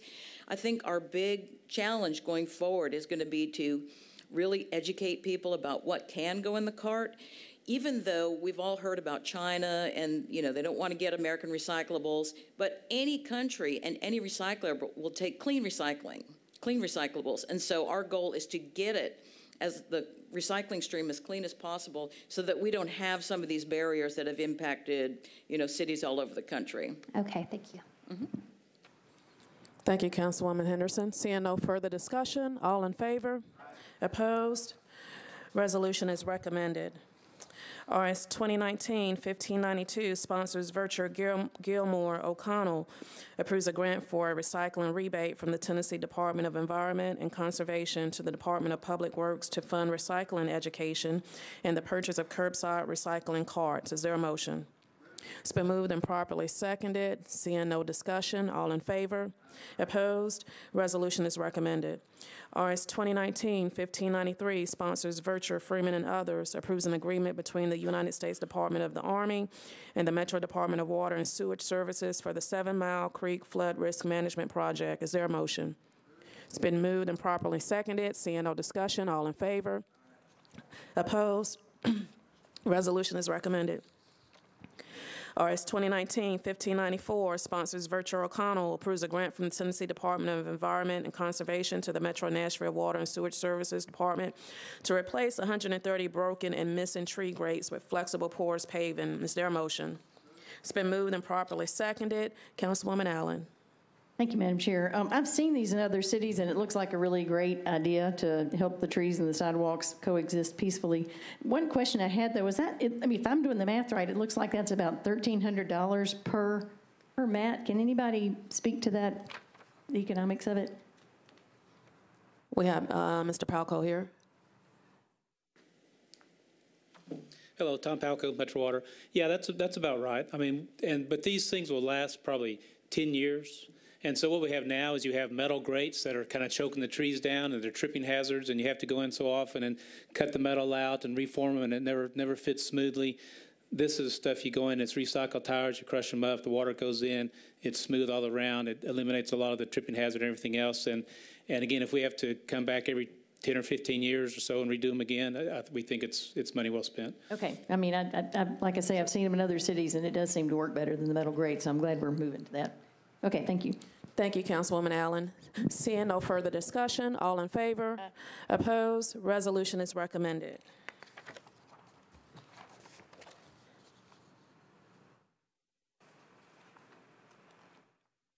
You ready? Okay. Now we're on to, I believe we have a late file resolution by Councilwoman Henderson. Are you going to offer that late file resolution, Councilwoman Henderson? Can you uh, press your button for me?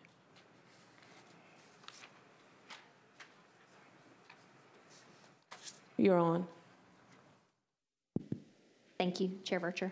Um, uh, Mr. Jameson, can you uh, speak to procedurally, do I have to um, introduce this here, or uh, may I do that in rules tomorrow and address this at tomorrow's meeting, or procedurally, what do I need to do? You should have a committee recommendation, and I believe the clerk's office, which assigns legislation to committees, has assigned it to both this committee as well as Public Works. So as long as you have consideration and recommendation from either committee, you can proceed tomorrow. Okay, I'm going to wait and move this in Public Works Committee, please. Okay, thank you so much, Councilwoman Henderson. Councilman Glover. So I, I I would like to make sure I understand procedurally what is being requested. If we don't make a recommendation, um, and uh, I I'm not, I don't understand what, uh, what exactly it says, obviously it's late filed, but if we don't make a re- recommendation, does it create a roadblock for the council member tomorrow night, or does it not? As long as she has a recommendation from the Public Works Committee or a committee, she can proceed on the floor tomorrow. Okay, thank you, Chair. Thank you, Councilman Glover.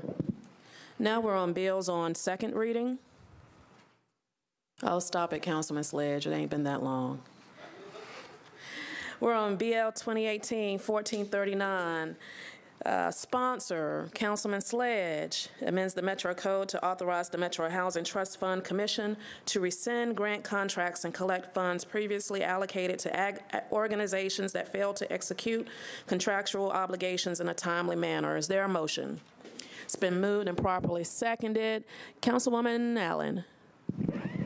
Thank you, Madam Chair. I just wanted to ask the sponsor if he could talk about um, what happens if they have begun the contracts, they're just not quite done with it. I will go to the sponsor, Councilman Sledge. Thank you, Madam Chair, and I'll probably rely on Audra a little bit on this one as well. This bill was out of some discussion that we were having regarding the fact that we have contracts, one of which you recommended approval, or some of which you recommended approval to extend earlier tonight, um, that have sort of different terms as far as uh, length of contract and performance.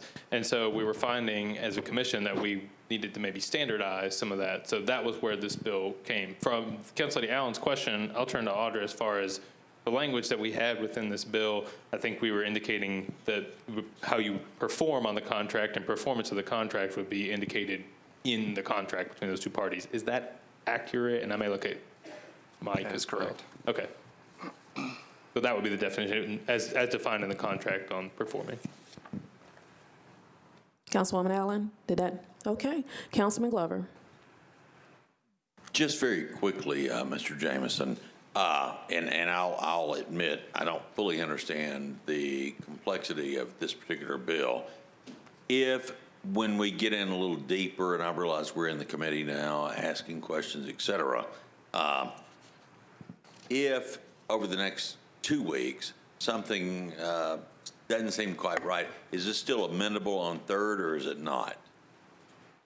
This would not fall under the general nature of, um, under Rule 15, that tho- those bills that can be amended on third, zoning, tax bills, uh, economic incentive, so I would suspect it cannot be amended on third reading. Okay, so Madam Chair, I'm, I'm just going to ask the sponsor if he wouldn't mind. I would appreciate, please explain that one more time. I tried to read the analysis and I tried to understand what we were trying to accomplish here, and I'll be the first one to admit I didn't do a very good job of that. That's okay, Councilman Glover. Uh, Councilman Sledge? Sure. Uh, So in the contracts that we have that the commission issues every, uh, well, every funding round, essentially, um, we were finding that the contract lengths tend to vary. It might have been a month or two, but they tended to vary. And then we were also finding that there was a varying degree of performance on those contracts. You might see a contract where somebody was able to get to work and uh, worked immediately and was performing and then was drawing upon those funds. Then there were some where didn't appear that that was occurring. Um, and so the commission is trying to work to see, okay, if there, uh, and in this bill, it says 24 months. If there's no performance on the contract in 24 months, that the commission has the ability, it doesn't trigger anything immediate, but the commission has the ability to say, okay, we need to take a closer look here. And if it doesn't appear that this grantee is going to be able to perform, um, that the commission would have the option to then do that, well, what I'm calling a clawback, to do a clawback, then put that money back into the Barnes Fund and say, let's reallocate this on our next funding round. So that's, that's the intention here. Um, and again, it's an authorization. It doesn't say you hit some trigger and boom, the money goes away. It says that the commission's able to work with the city, work with the applicant and see what the situation might be. Councilman So- Glover? Yeah, just, uh, I want to make sure I, make sure I understand the uh, clarification on the timeline. The 24 months would begin after third reading. It, it's not retroactive. Is that correct, Madam Chair? Councilman Sledge? I, I believe that's correct, and I'm going to look at Mike just to make sure. That's correct. Okay, so, okay, I, th- thank you, because that, I was trying to understand timelines and and exactly how it worked. Thank you. Thank you, Councilman Glover. Seeing no further discussion, all in favor? Opposed? Bill is recommended. If there aren't any objections, I'd like to take BL 2019-1476, 1477, 1478, 1479 together, if there aren't any objections. Seeing none, we're on BL 2019-1476, sponsors Vercher, Glover, Bedne, declares surplus and approves the dip- the dis- the disposition of property known as Zero Brick Church Pike. BL 2019-1477 sponsors Rhoten, Vercher, and others, declares surplus and approves the disposition of property known as 3125 Ironwood Drive. BL 2019-1478 sponsors Weiner, Bedne, and others. There is a letter from the sponsor for approval. Declares surplus and approves the the disposition of property known as 1015 Davison Road. BL 2019-1479 sponsors Syracuse, Vercher, and others, declares surplus and and approves the disposition of property known as 2795 Pennington Bend. Is there a motion? It's been moved and properly seconded, and we have discussion. Councilman Cooper, at large. Oh, Thank you, Chair. Um, uh, Particularly on 1476, um, I've received a lot of emails about this. How public has the process been at this point? Has there been a hearing, or has there any, been any public forum that uh, neighbors can express their opinion. Do we have some, one over the, Well, I was just going to point out that um, we have representatives from schools, from MNPS. They could speak to the oh, they're here, I see. uh, board process up to this point. Mr. Thanks. North? I didn't see you back there. Thank you. Mark North, Metro Schools. Uh, it- These went through the usual school board process uh, a- and were uh, discussed through the c- Budget Committee uh, and then a- at an open uh, school board meeting. Uh, There were, and there's always, of course, public participation available at, at uh, the first meeting of the, uh, of the month uh, at the school board. Um, Thank you, Mark. Always a pleasure to see you. If you didn't mind keeping tally for us, I know we've passed an ordinance not allowing us to do this anymore, but in terms of one-time property sales to balance the budget. And then if you would just refresh us on what portion schools is expected to produce and what are the totals after these sales, uh, should they happen? I don't have the, oh, okay, so the, the current year budget, uh, uh, expected sale of real property to fund $13 million, to provide the revenue for, of $13 million for the schools. Um, These four properties were surplused by the school board, uh, which means they don't uh, need them now and don't foresee needing them in the future. I don't have the amounts right in front of me uh, or to add them up in my head. Uh, Mr. Harmon might, might be able to help, but I believe it is uh, totals eight, 5 million? No, it's, it's five four. It's a little shy of five four. So a little Based on over- the a little appraised value. $5 million uh, is the total of these, these four properties. If, if they were to uh, get what they're appraised for, If, if they it get. would be right, if $5.4 they- million dollars. That's what they're appraised for, yes, sir. Will the, um, so are you still expected to produce 7.6 million? Uh, The uh, budget that was passed by this council expected uh, $13 million of revenue from uh, property sales. And this, if appraised value, if, if they receive appraised value uh, in the sale would be about 5.4.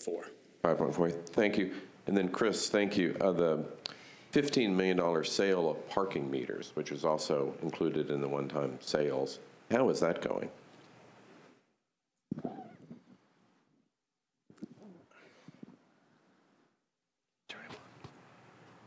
He's on. I'm, I'm trying to think, Councilman. Um, I believe the procurement process is still ongoing. I don't know that an intent to award has been issued at this point.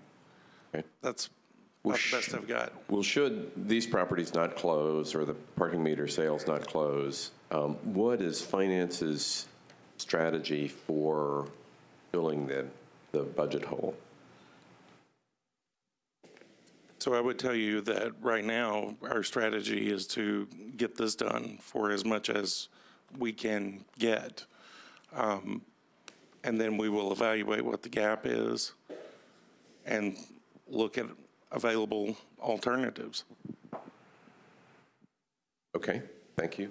Um, But that, but on this, there's a- still a missing 7.6 for the school board, and then on the parking meters, that's not included. And then the other properties, again, just a quick update on this one-time property sales.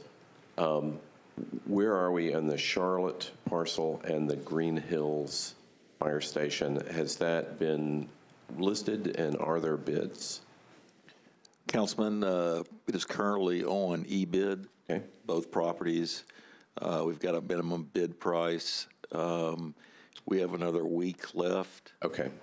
In the bid process, we expect the activity to really begin uh, in the last two or three days. Okay. So the, the jury is out on that too. Okay. Jury's out. Uh, Appreciate it very much. But the only public hearing on this has been at the school board um, in terms of communicating the, sort of the public intention. Have we put notices out to neighbors, for, particularly at Zero Brick Church. I know the neighborhood is, feels like it only recently has been aware of that. Um, There's, there's not a notification process, so to speak, that when it comes through the school board's process. Uh, Notification, signs on the property, that sort of thing are not. Are not part of the process. school board process of surplusing the property. Okay, thank you, appreciate it very much. Thank you, Councilman Cooper. Councilwoman Allen. Thank you, Madam Chair. Just to, to follow up on the question about Zero Brick Church Pike, because I'd gotten a, a number of um, emails as well, and, and it, um, that particular property um, seems to be adjacent to Parks property, um, and also seems to be on a high range that doesn't seem particularly buildable. Um, So I was wondering if it would be appropriate to refer it to the Parks Committee, or if there's someone from Parks here today that can speak to that, to Parks' interest in that property, or Councilwoman Allen, I don't believe we have anyone here from, from Parks. Can I, can I request that it be referred to the Parks Committee, or?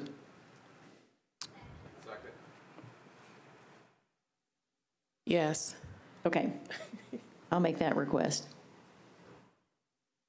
And then we'll, we'll ask those questions tomorrow.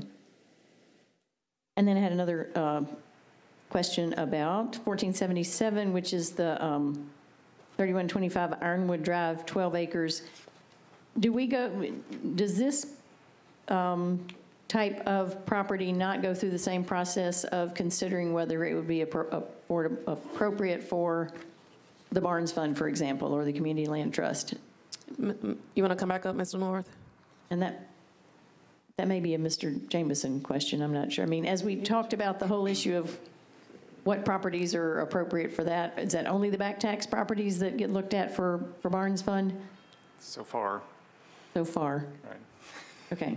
Um, It just, it just seems like 12 acres is, and, and I know, I know you're, you're wishing I would quit a- asking these questions, but, you know, it- it- from the big picture, that we struggle with so many things, including f- fully funding schools, which we all desperately want to do, but also coming up with affordable housing, it's, it's hard to let go of 12 acres. Um, wa- Was that part of the conversation? That, uh, from the school system's point of view, from the school board, uh, we don't need that property anymore.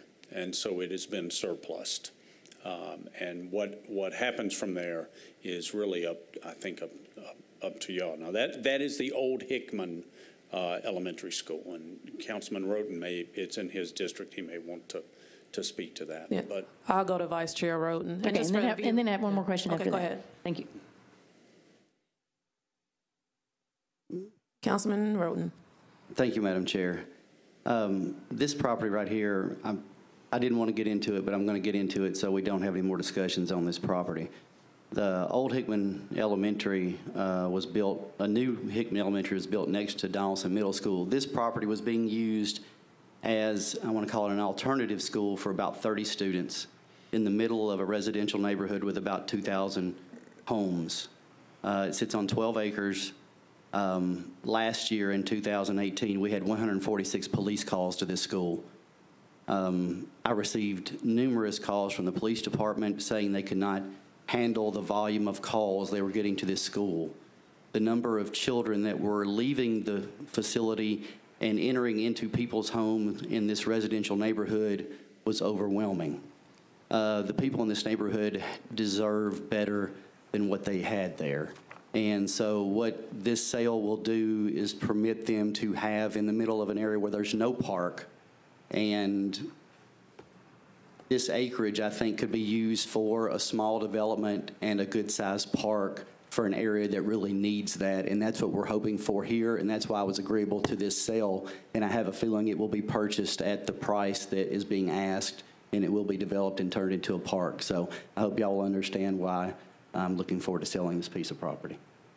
Thank you, Vice Chair Rhoten. Councilwoman Allen. Okay, and then, thank you, I appreciate that explanation, that's helpful to understand. On the, on the next one, which I'm, uh, 1015 Davidson Road, which I'm thinking is with the Hillwood School moving, um, we've been, we've gone through the process of asking that our appraisals have two parts to them. One, what is the land worth today? And two, what is it worth if it gets rezoned? Is that, is that part of the appraisal that, that we're seeing here? And is, is there a way that, that Metro Schools could get a whole lot, somebody's going to get a whole lot of money from this? Um, Is there a way that Metro Schools could benefit from that increase more than just simply selling the land and then letting someone else reap the, the huge benefits of that? Mr. Barry?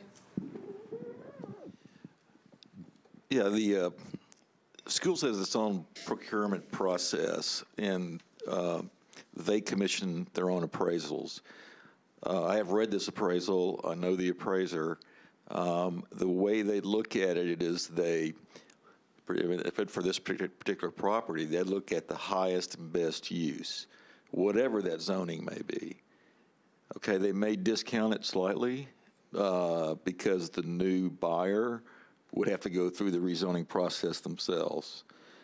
But it's, uh, and you can go look at the comps, and you can look at uh, the charts that they do, and you can tell, take and- and see um, the value as is, and then the value rezoned, which we call current and prospective value. Gotcha. And so looking at this, this value of 3.3 million for 9.52 acres, you may not be the right person to ask that. Is that, which, which one of those are we looking at there? That's Davidson Road. Right, and is, which, which type of appraisal of the two that you just described? It's highest and best use. Highest and best use, okay. So we feel like that if, if we give this up, the schools are getting an appropriate amount of funding for it. Okay, I just want to be sure. Thank you. Thank you, Councilwoman Allen. Councilman Mendes?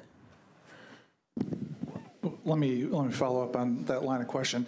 Um, I, I read it the opposite. I, I read it um, that it's uh, zoned R40 now, and uh, it anticipates a change to RM20.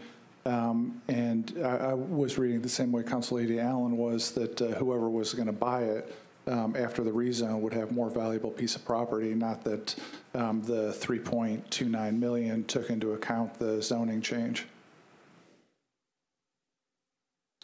fundamentally asked a different way, it seems like if we just did the, like, if we're, if we're selling off property to make uh, ends meet on a budget, um, why wouldn't we just do the rezone ourselves to get the higher price rather than, um, uh, it- it's necessarily discounted. Anybody who buys it from us with the current zoning of R40 is going to have some discount on it because they don't know whether the zoning is going to take place. There can't be any possible way that 3.29 reflects um, a certainty of RM20 zoning. I think it's a timing issue on that. I mean, given the goals of schools and as it relates to uh, the budget, um, to go through the rezoning process is, is fairly lengthy. So I would totally agree with that. And this is one of the reasons why selling off property for one-time sales is a ridiculous way to run a railroad. Everybody who's a buyer knows that we're in a hurry to sell this, um, and we're going to get systematically lowballed.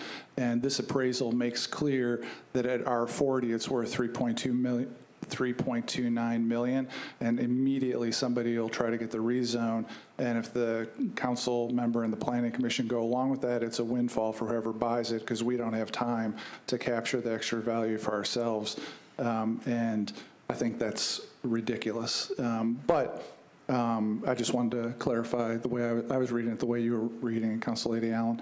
Um, The follow-up question, I I was going to ask too, the other question she asked about um, uh, so how are these properties titled? In Metro? Uh, As I understand it, all MNPS properties titled in Metro, not in MNPS? As I understand it, uh, legal may want to comment on this, but they're uh, titled in Metro and assigned to schools. Assigned to schools. So um, a thing that I would also agree with Council Lady Allen that we need to figure out, and this goes to, I think, Councilman Glover's point about the um, uh, properties that were going to the Community Land Trust. There's not particularly I guess I'll ask this as a question. Is there any policy, procedure, um, guideline, rule of thumb that would tell us what surplus property gets sold off for money and uh, what surplus property would go to the community land trust? Or is it just uh, administration decision? It's hard for me to say, but uh, currently it's just been back tax properties. So, the, so, so that's a decision of the administration That to would be a limit it? of the administration, And- correct. And we're happy to give away the fairgrounds as part of a deal and not do affordable housing for other departments' property that are surplus? I mean, that, that's basically, I mean, I know you're in the hot seat, but that, that, I mean, that's the, uh, in the absence of some other policy, the deal is that back taxes will do for affordable housing and everything else is available for one-time sales or um, other deals. Um, All right, uh, just in, in keeping with, uh, um, I think this is a a crazy way to run a railroad, and I, I can't wait to um, see what properties are going to get sold this next year, to have one-time sales to make the, the budget process uh, meet. I'm probably going to be uh, a no on these, just, just because I, I think this is, uh, I, think there's an open acknowledgement that because of a timing issue, we're going to shortchange ourselves on the value of one of them. Um, So I'm going to be a no, thanks. Thank you, Councilman Mendes. Councilwoman Henderson. Thank you, Council Lady. Uh, I, I too have concerns about these. I'm glad for purposes of discussion whether we're discussing them all at the same time. Um, but I would, we, we do, when we go to vote on these, finally, we need to separate them. Is that correct? I mean, we were going to take them as, as a collective vote. I, I, Yeah. I would move that we not do that, We please. can do that. Because I, ha- I, I want to support Councilman Rhoten's uh, effort, but I We- have. We can, we can do that, Councilwoman Henderson. Okay, I appreciate that. Regarding, I do have a question about uh, Zero Brick Church Pike. Um, I've also been contacted about that and do have some concerns. Um, Mr. North, can you speak to, just uh, for your process internal to MNPS, um, uh, not having uh, attended a, a a budget committee discussion, I mean, what are the parameters by which, or the, the um, criteria that your uh, board makes these uh, determinations to surplus these properties? Like for, you know, Councilman Rhoten, he's speaking to a very specific problem internal to that neighborhood, a problem property. So, I mean, I see the merit there.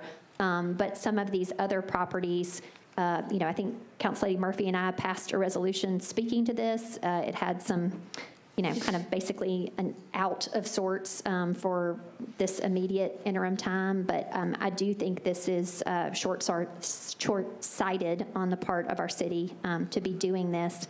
But can you speak to how the school board makes this determination? And indeed, if Councilman Cooper was kind of getting there, but you spoke to having uh, a, a public platform for citizens like every other meeting, but was there specifically a public hearing about the surplusing of each of these properties at the school board? Uh, There's not a process for a specific public hearing on, on various legislation before the school board. The, the process and criteria for surplusing property uh, is generally if the school system doesn't need it currently and doesn't have a foreseeable use for the property. Now, uh, those uh, input uh, comes from operations, comes from student assignment, uh, comes from facilities uh, and other departments uh, within, within the school system. So do you engage no. the planning department at all to look at kind of our development patterns and zoning? So you all might be thinking, oh, I don't think we're going to need this in five years. What about 15 or 20 years from now when we think, oops, Yet, we, yet, we, oh, we, we need a school in this quadrant now?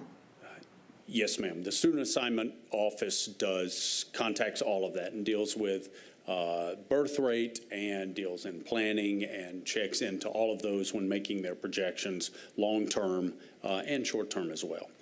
So does uh, school assignment, or would each of these properties then have a companion report that um, uh, validates the, the surplusing? I mean, I guess, is there a staff report of sorts to your school board that they then look at and determine, oh, okay, based on the planning department school assignment and all these things, this is a good decision?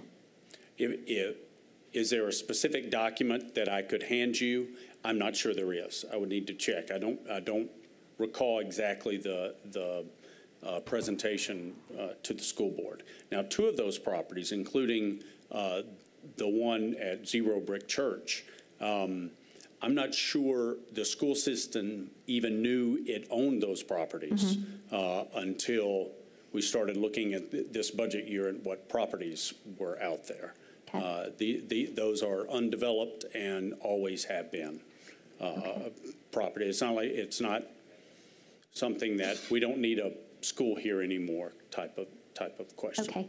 Um, If I wanted to see the discussion related to the surplusing of these properties, uh, what, uh, what date did that transpire on, and what committee was that, and how would I view that?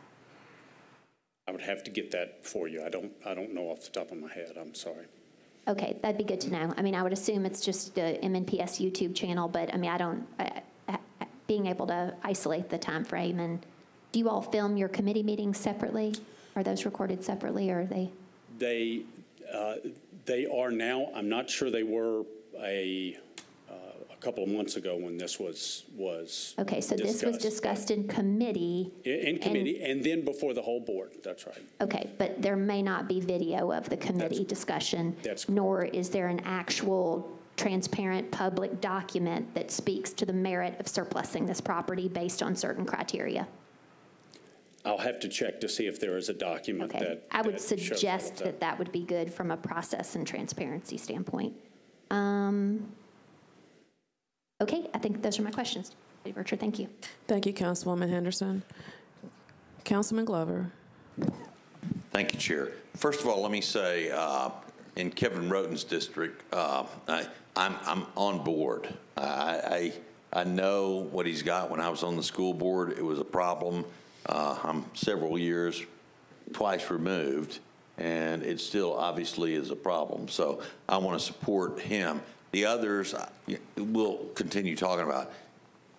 Here's my problem I have because there's two things I've heard that I'm not comfortable with. If these things sell, uh, if, if this happens, will they be able to accommodate the 13 million or whatever in the shortfall in the school's budget this year? If they feel like they can, if they sell it, let's assume it happens or whatever property they're going to sell off. If they don't already have things under contract or to sell, let's say it gets under contract March 1st. I think that's probably aggressive. But if it happened, realistically, when would actual dollars come to the school board as far as operational money, given the one-time thing we're looking at doing here? Mr. Harmon, would you, um, I, I know it's contingent upon a lot of things, but I'll, I'll let you answer. Sure, that. Councilman, I, I would say to you that uh, that is dependent on the uh, length of the closing procedure. Um, But it is expected that the school board had surplus these, um, and with consideration of the council, um, that we could still achieve these sales um, and realize that revenue in this fiscal year. And are you able to give this council uh, tomorrow uh, how rapidly, the quickest deal we've ever done on a land sale, how quickly it went on the market, it, it was advertised, it was all the various things that happens, it, it sold, we closed it, and we actually put the money in the bank for Metro. Can you give us an idea of what that timeline might look like? Are we looking at 30 days, 60 days, 90 days, or are we looking at greater than that? We would go back and look at the previous property sales and determine uh, what the quickest time frame was. Sure. Okay, so I would like to understand that because I, I find it hard to believe that it, we, we would actually be able to uh, accommodate the, the shortfall for the school system. The other problem I have, and one of the reasons that I, I'm going to support uh, Councilman Rhoten on this, is because it is a problem uh, in in the McGavock cluster, which he and I both serve. But we have other things that are happening i- i- in in the cluster, and, you know, developers are told, we got to give, we have to, they have to give land, they have to do this, they have to do that.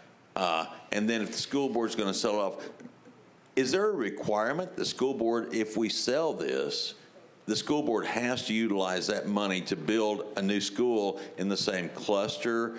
Uh, I think I know the answer, but is, is there any requirement? I think it's going to come into the general fund, if, is my guess, unless I'm totally out of bounds here. You're correct. hmm So I, I'm going to support Councilman Rhoten on, on his bill. The rest of it, I think we need to have a lot more conversation. So, Chair, I'm not sure how we do this. Uh, I know you wanted them all put together, but I, I'm gonna, I'm gonna So kinda we're, go. so we're discussing collectively, we'll vote individually. All right, thank you. Councilman Davis. Thank you, Chair. I just was going to say real quick, I, I guess I'm reluctantly supportive because, because I know MNPS needs the funds and, you know, that sort of thing. I just wanted to reiterate that I don't like the one-time sale practice. And if there was a possibility of rezoning, I definitely think, one, we should have been thinking about that. But if, if there was any window to think about that, we should look with the district council member and just see if you can go to RM zoning or something. I know it's easier said than done, and there could be neighborhood pushback, but if that was an opportunity, you could exponentially increase the value. So it was something that was a great point, and again, reiterating that we shouldn't be doing these land sales if we don't have to. Thanks. Thank you, Councilman Davis. Councilman, Councilwoman Allen. Thank you. Picking up on the comment on the district council uh, member, uh, is this in, in Councilmember Weiner's district, or is it Councilmember Mina Johnson's? 1015 Davidson Road, um, Councilwoman Weiner is, is the lead sponsor. She sent the letter for approval. Mr. North? There, uh, Council Lady Allen, earlier you, you commented about Hillwood, and I, I wanted to, to be sure we were clear on where this property was. This is not the Hillwood High School property. This is Bro- the former Brookmeade Ah, Elementary School. Okay, okay. I was envisioning the wrong piece of property. Thank you. Thank you, Councilwoman Allen. Councilwoman Gilmore? Uh, I think Councilmember Glover had left. I was just curious to see why um, some council members were supporting some bills and not the others, when they're all one-time sale of school properties. That's the piece, I- I I just, I didn't hear any logic, and I I wanted to hear more logic about that. How can you support one but not the other? We'll go to uh, Councilwoman Henderson. I'd be happy to respond to my logic on that.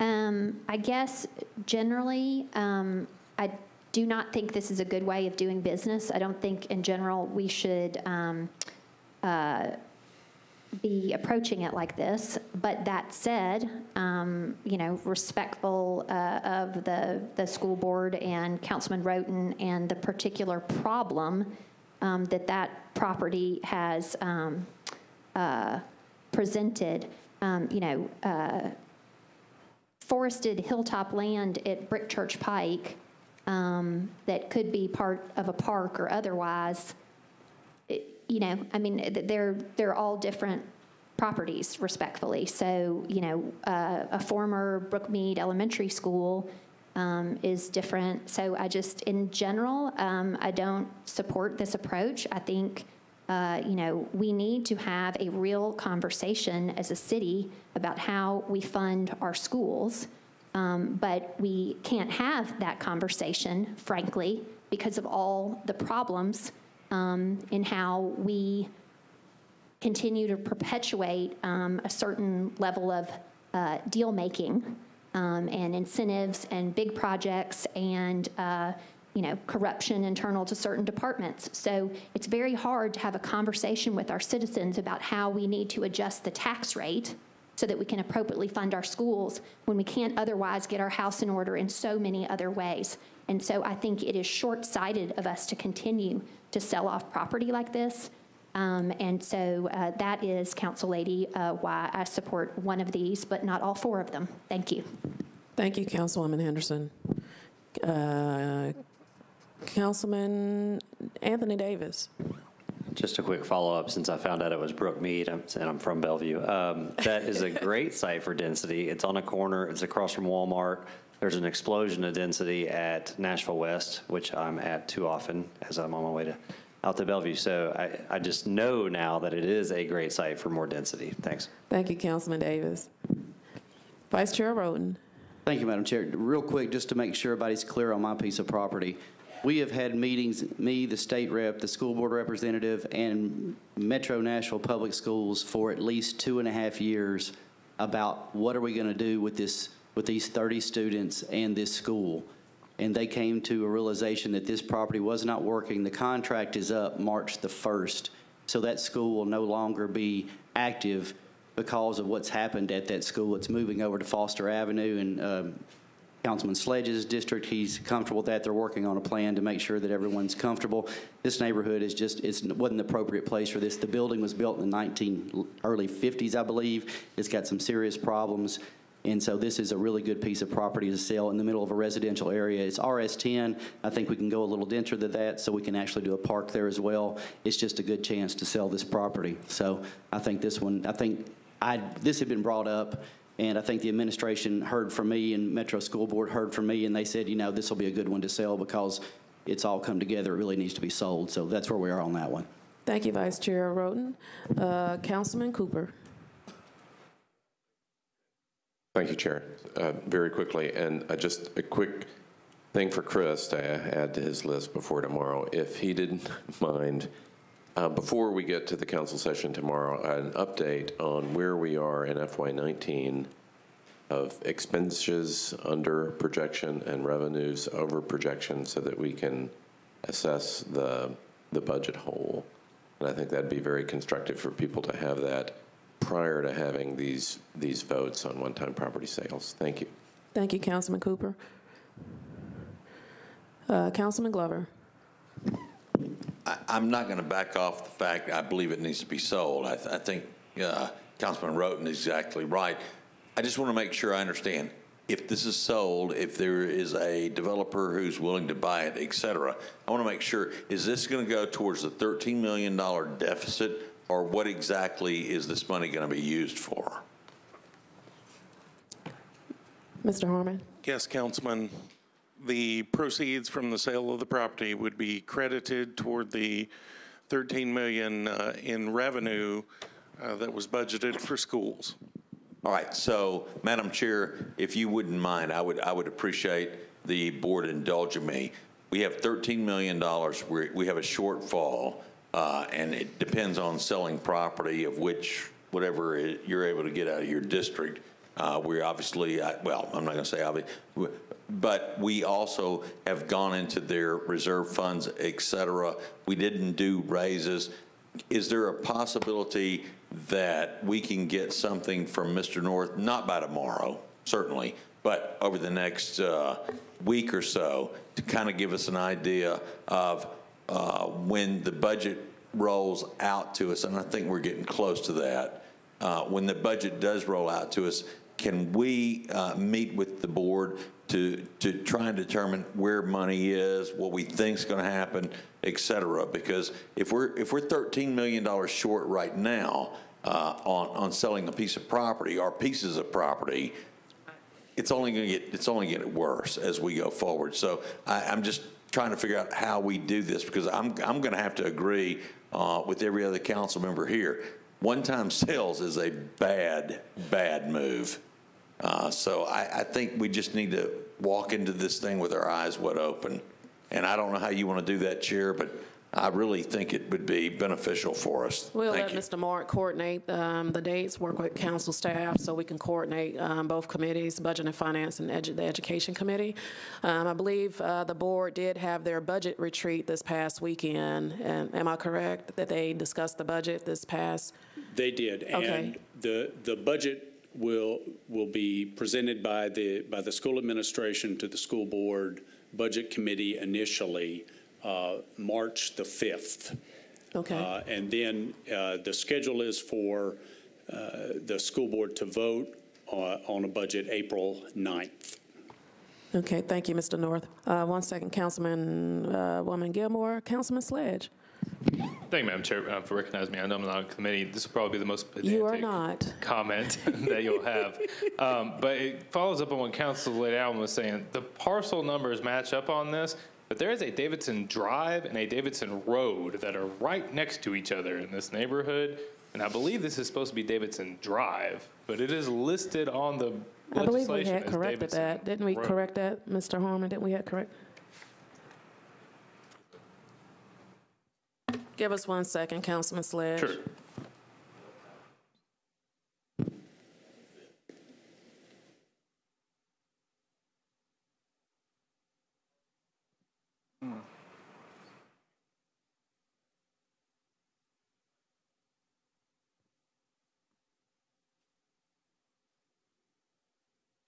I thought that that we had corrected it from last, it was an issue.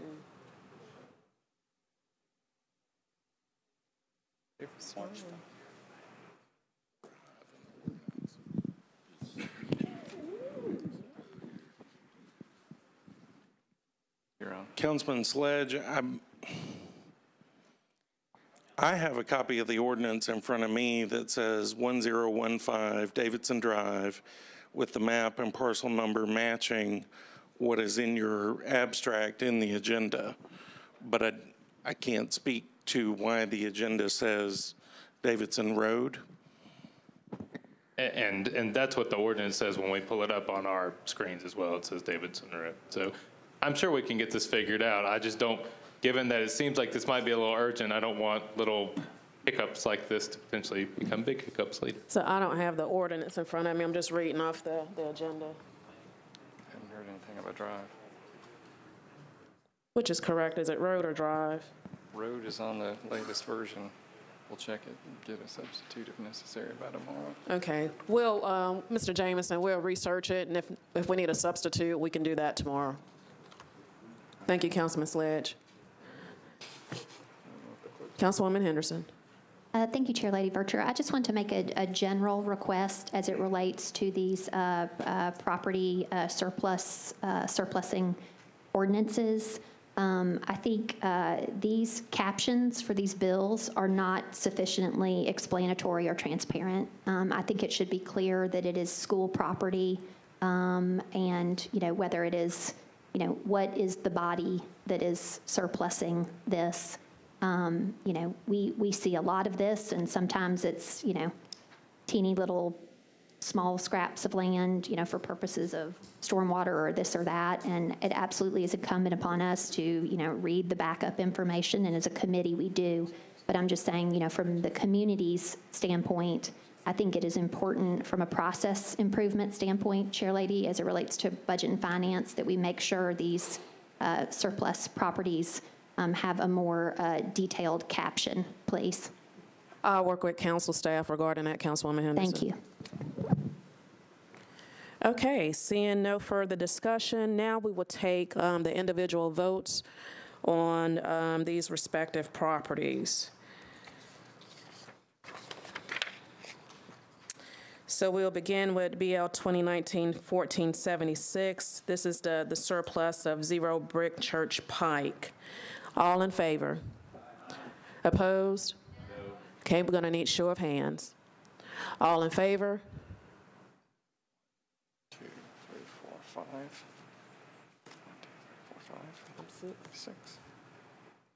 Opposed? One, two, three, four, five, six. Six to six. No recommendation. Okay, six to six, no recommendation. Now we're on BL 2019-1477. Um, This is uh, sponsors Rhoten, Vercher, and others. This is the surplus of 3125 Ironwood Drive. All in favor? Yes. Uh, You're going to press your microphone, Councilwoman Henderson. Thank you, Chair Lady. This was just a point of order. I apologize. I had um, confused in my notes. Um, The property that Councilman uh, Rhoten was supporting and discussing is indeed Ironwood Drive. Is that correct? Yes. Okay, thank you. We are on, we're voting on BL 2019-1477. This is the property located in Vice Chair Rhoten's uh, district. All in favor? Opposed? Bill will be recommended. Now we're on BL 2019-1478. This is in Councilwoman Weiner's district. We do have a letter to approve from her. This is uh, 1015 Davidson Road. We're going to research to make sure it's it's not road versus drive, and if necessary, we'll offer a substitute tomorrow. All in favor? Opposed? Okay, we're going to need show of hands. All in favor? Two, three, four. One, two, three, four. Five, five, four. Opposed? One, two, three, four, five, six, seven. Fails. Fails? Yeah. Uh, Recommendation fails. Motion fails. 79. Yes, Councilwoman Allen. Do we need to vote on the recommendation for the Parks Committee to look at 1476, or is that, that's done? Okay, thank you. We already noted that, uh, Councilwoman Allen.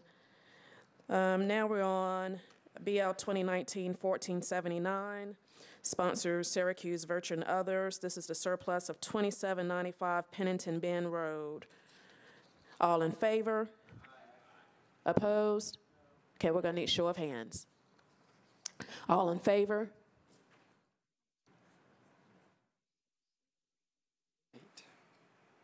Opposed? Three, one, two, three, eight to three. Okay, bill will be recommended.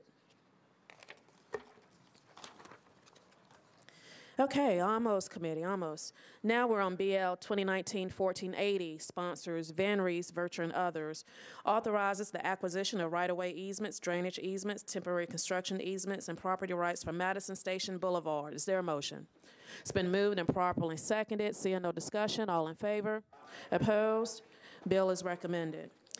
BL 2019-1485, sponsors Vercher O'Connell and Bedne, approves a form master participation agreement to be used by the Metro Department of Water and Sewage Services to enter into agreements with developers for the recuperation of costs associated with the Southeast Development Area and authorizes Metro government to execute the agreement. Is there a motion? It's been moved and properly seconded. We have some discussion. Councilwoman Henderson. Thank you, Council Lady Vercher. Can someone from Water please uh, speak to this? We'll have Mr. Snyder come up.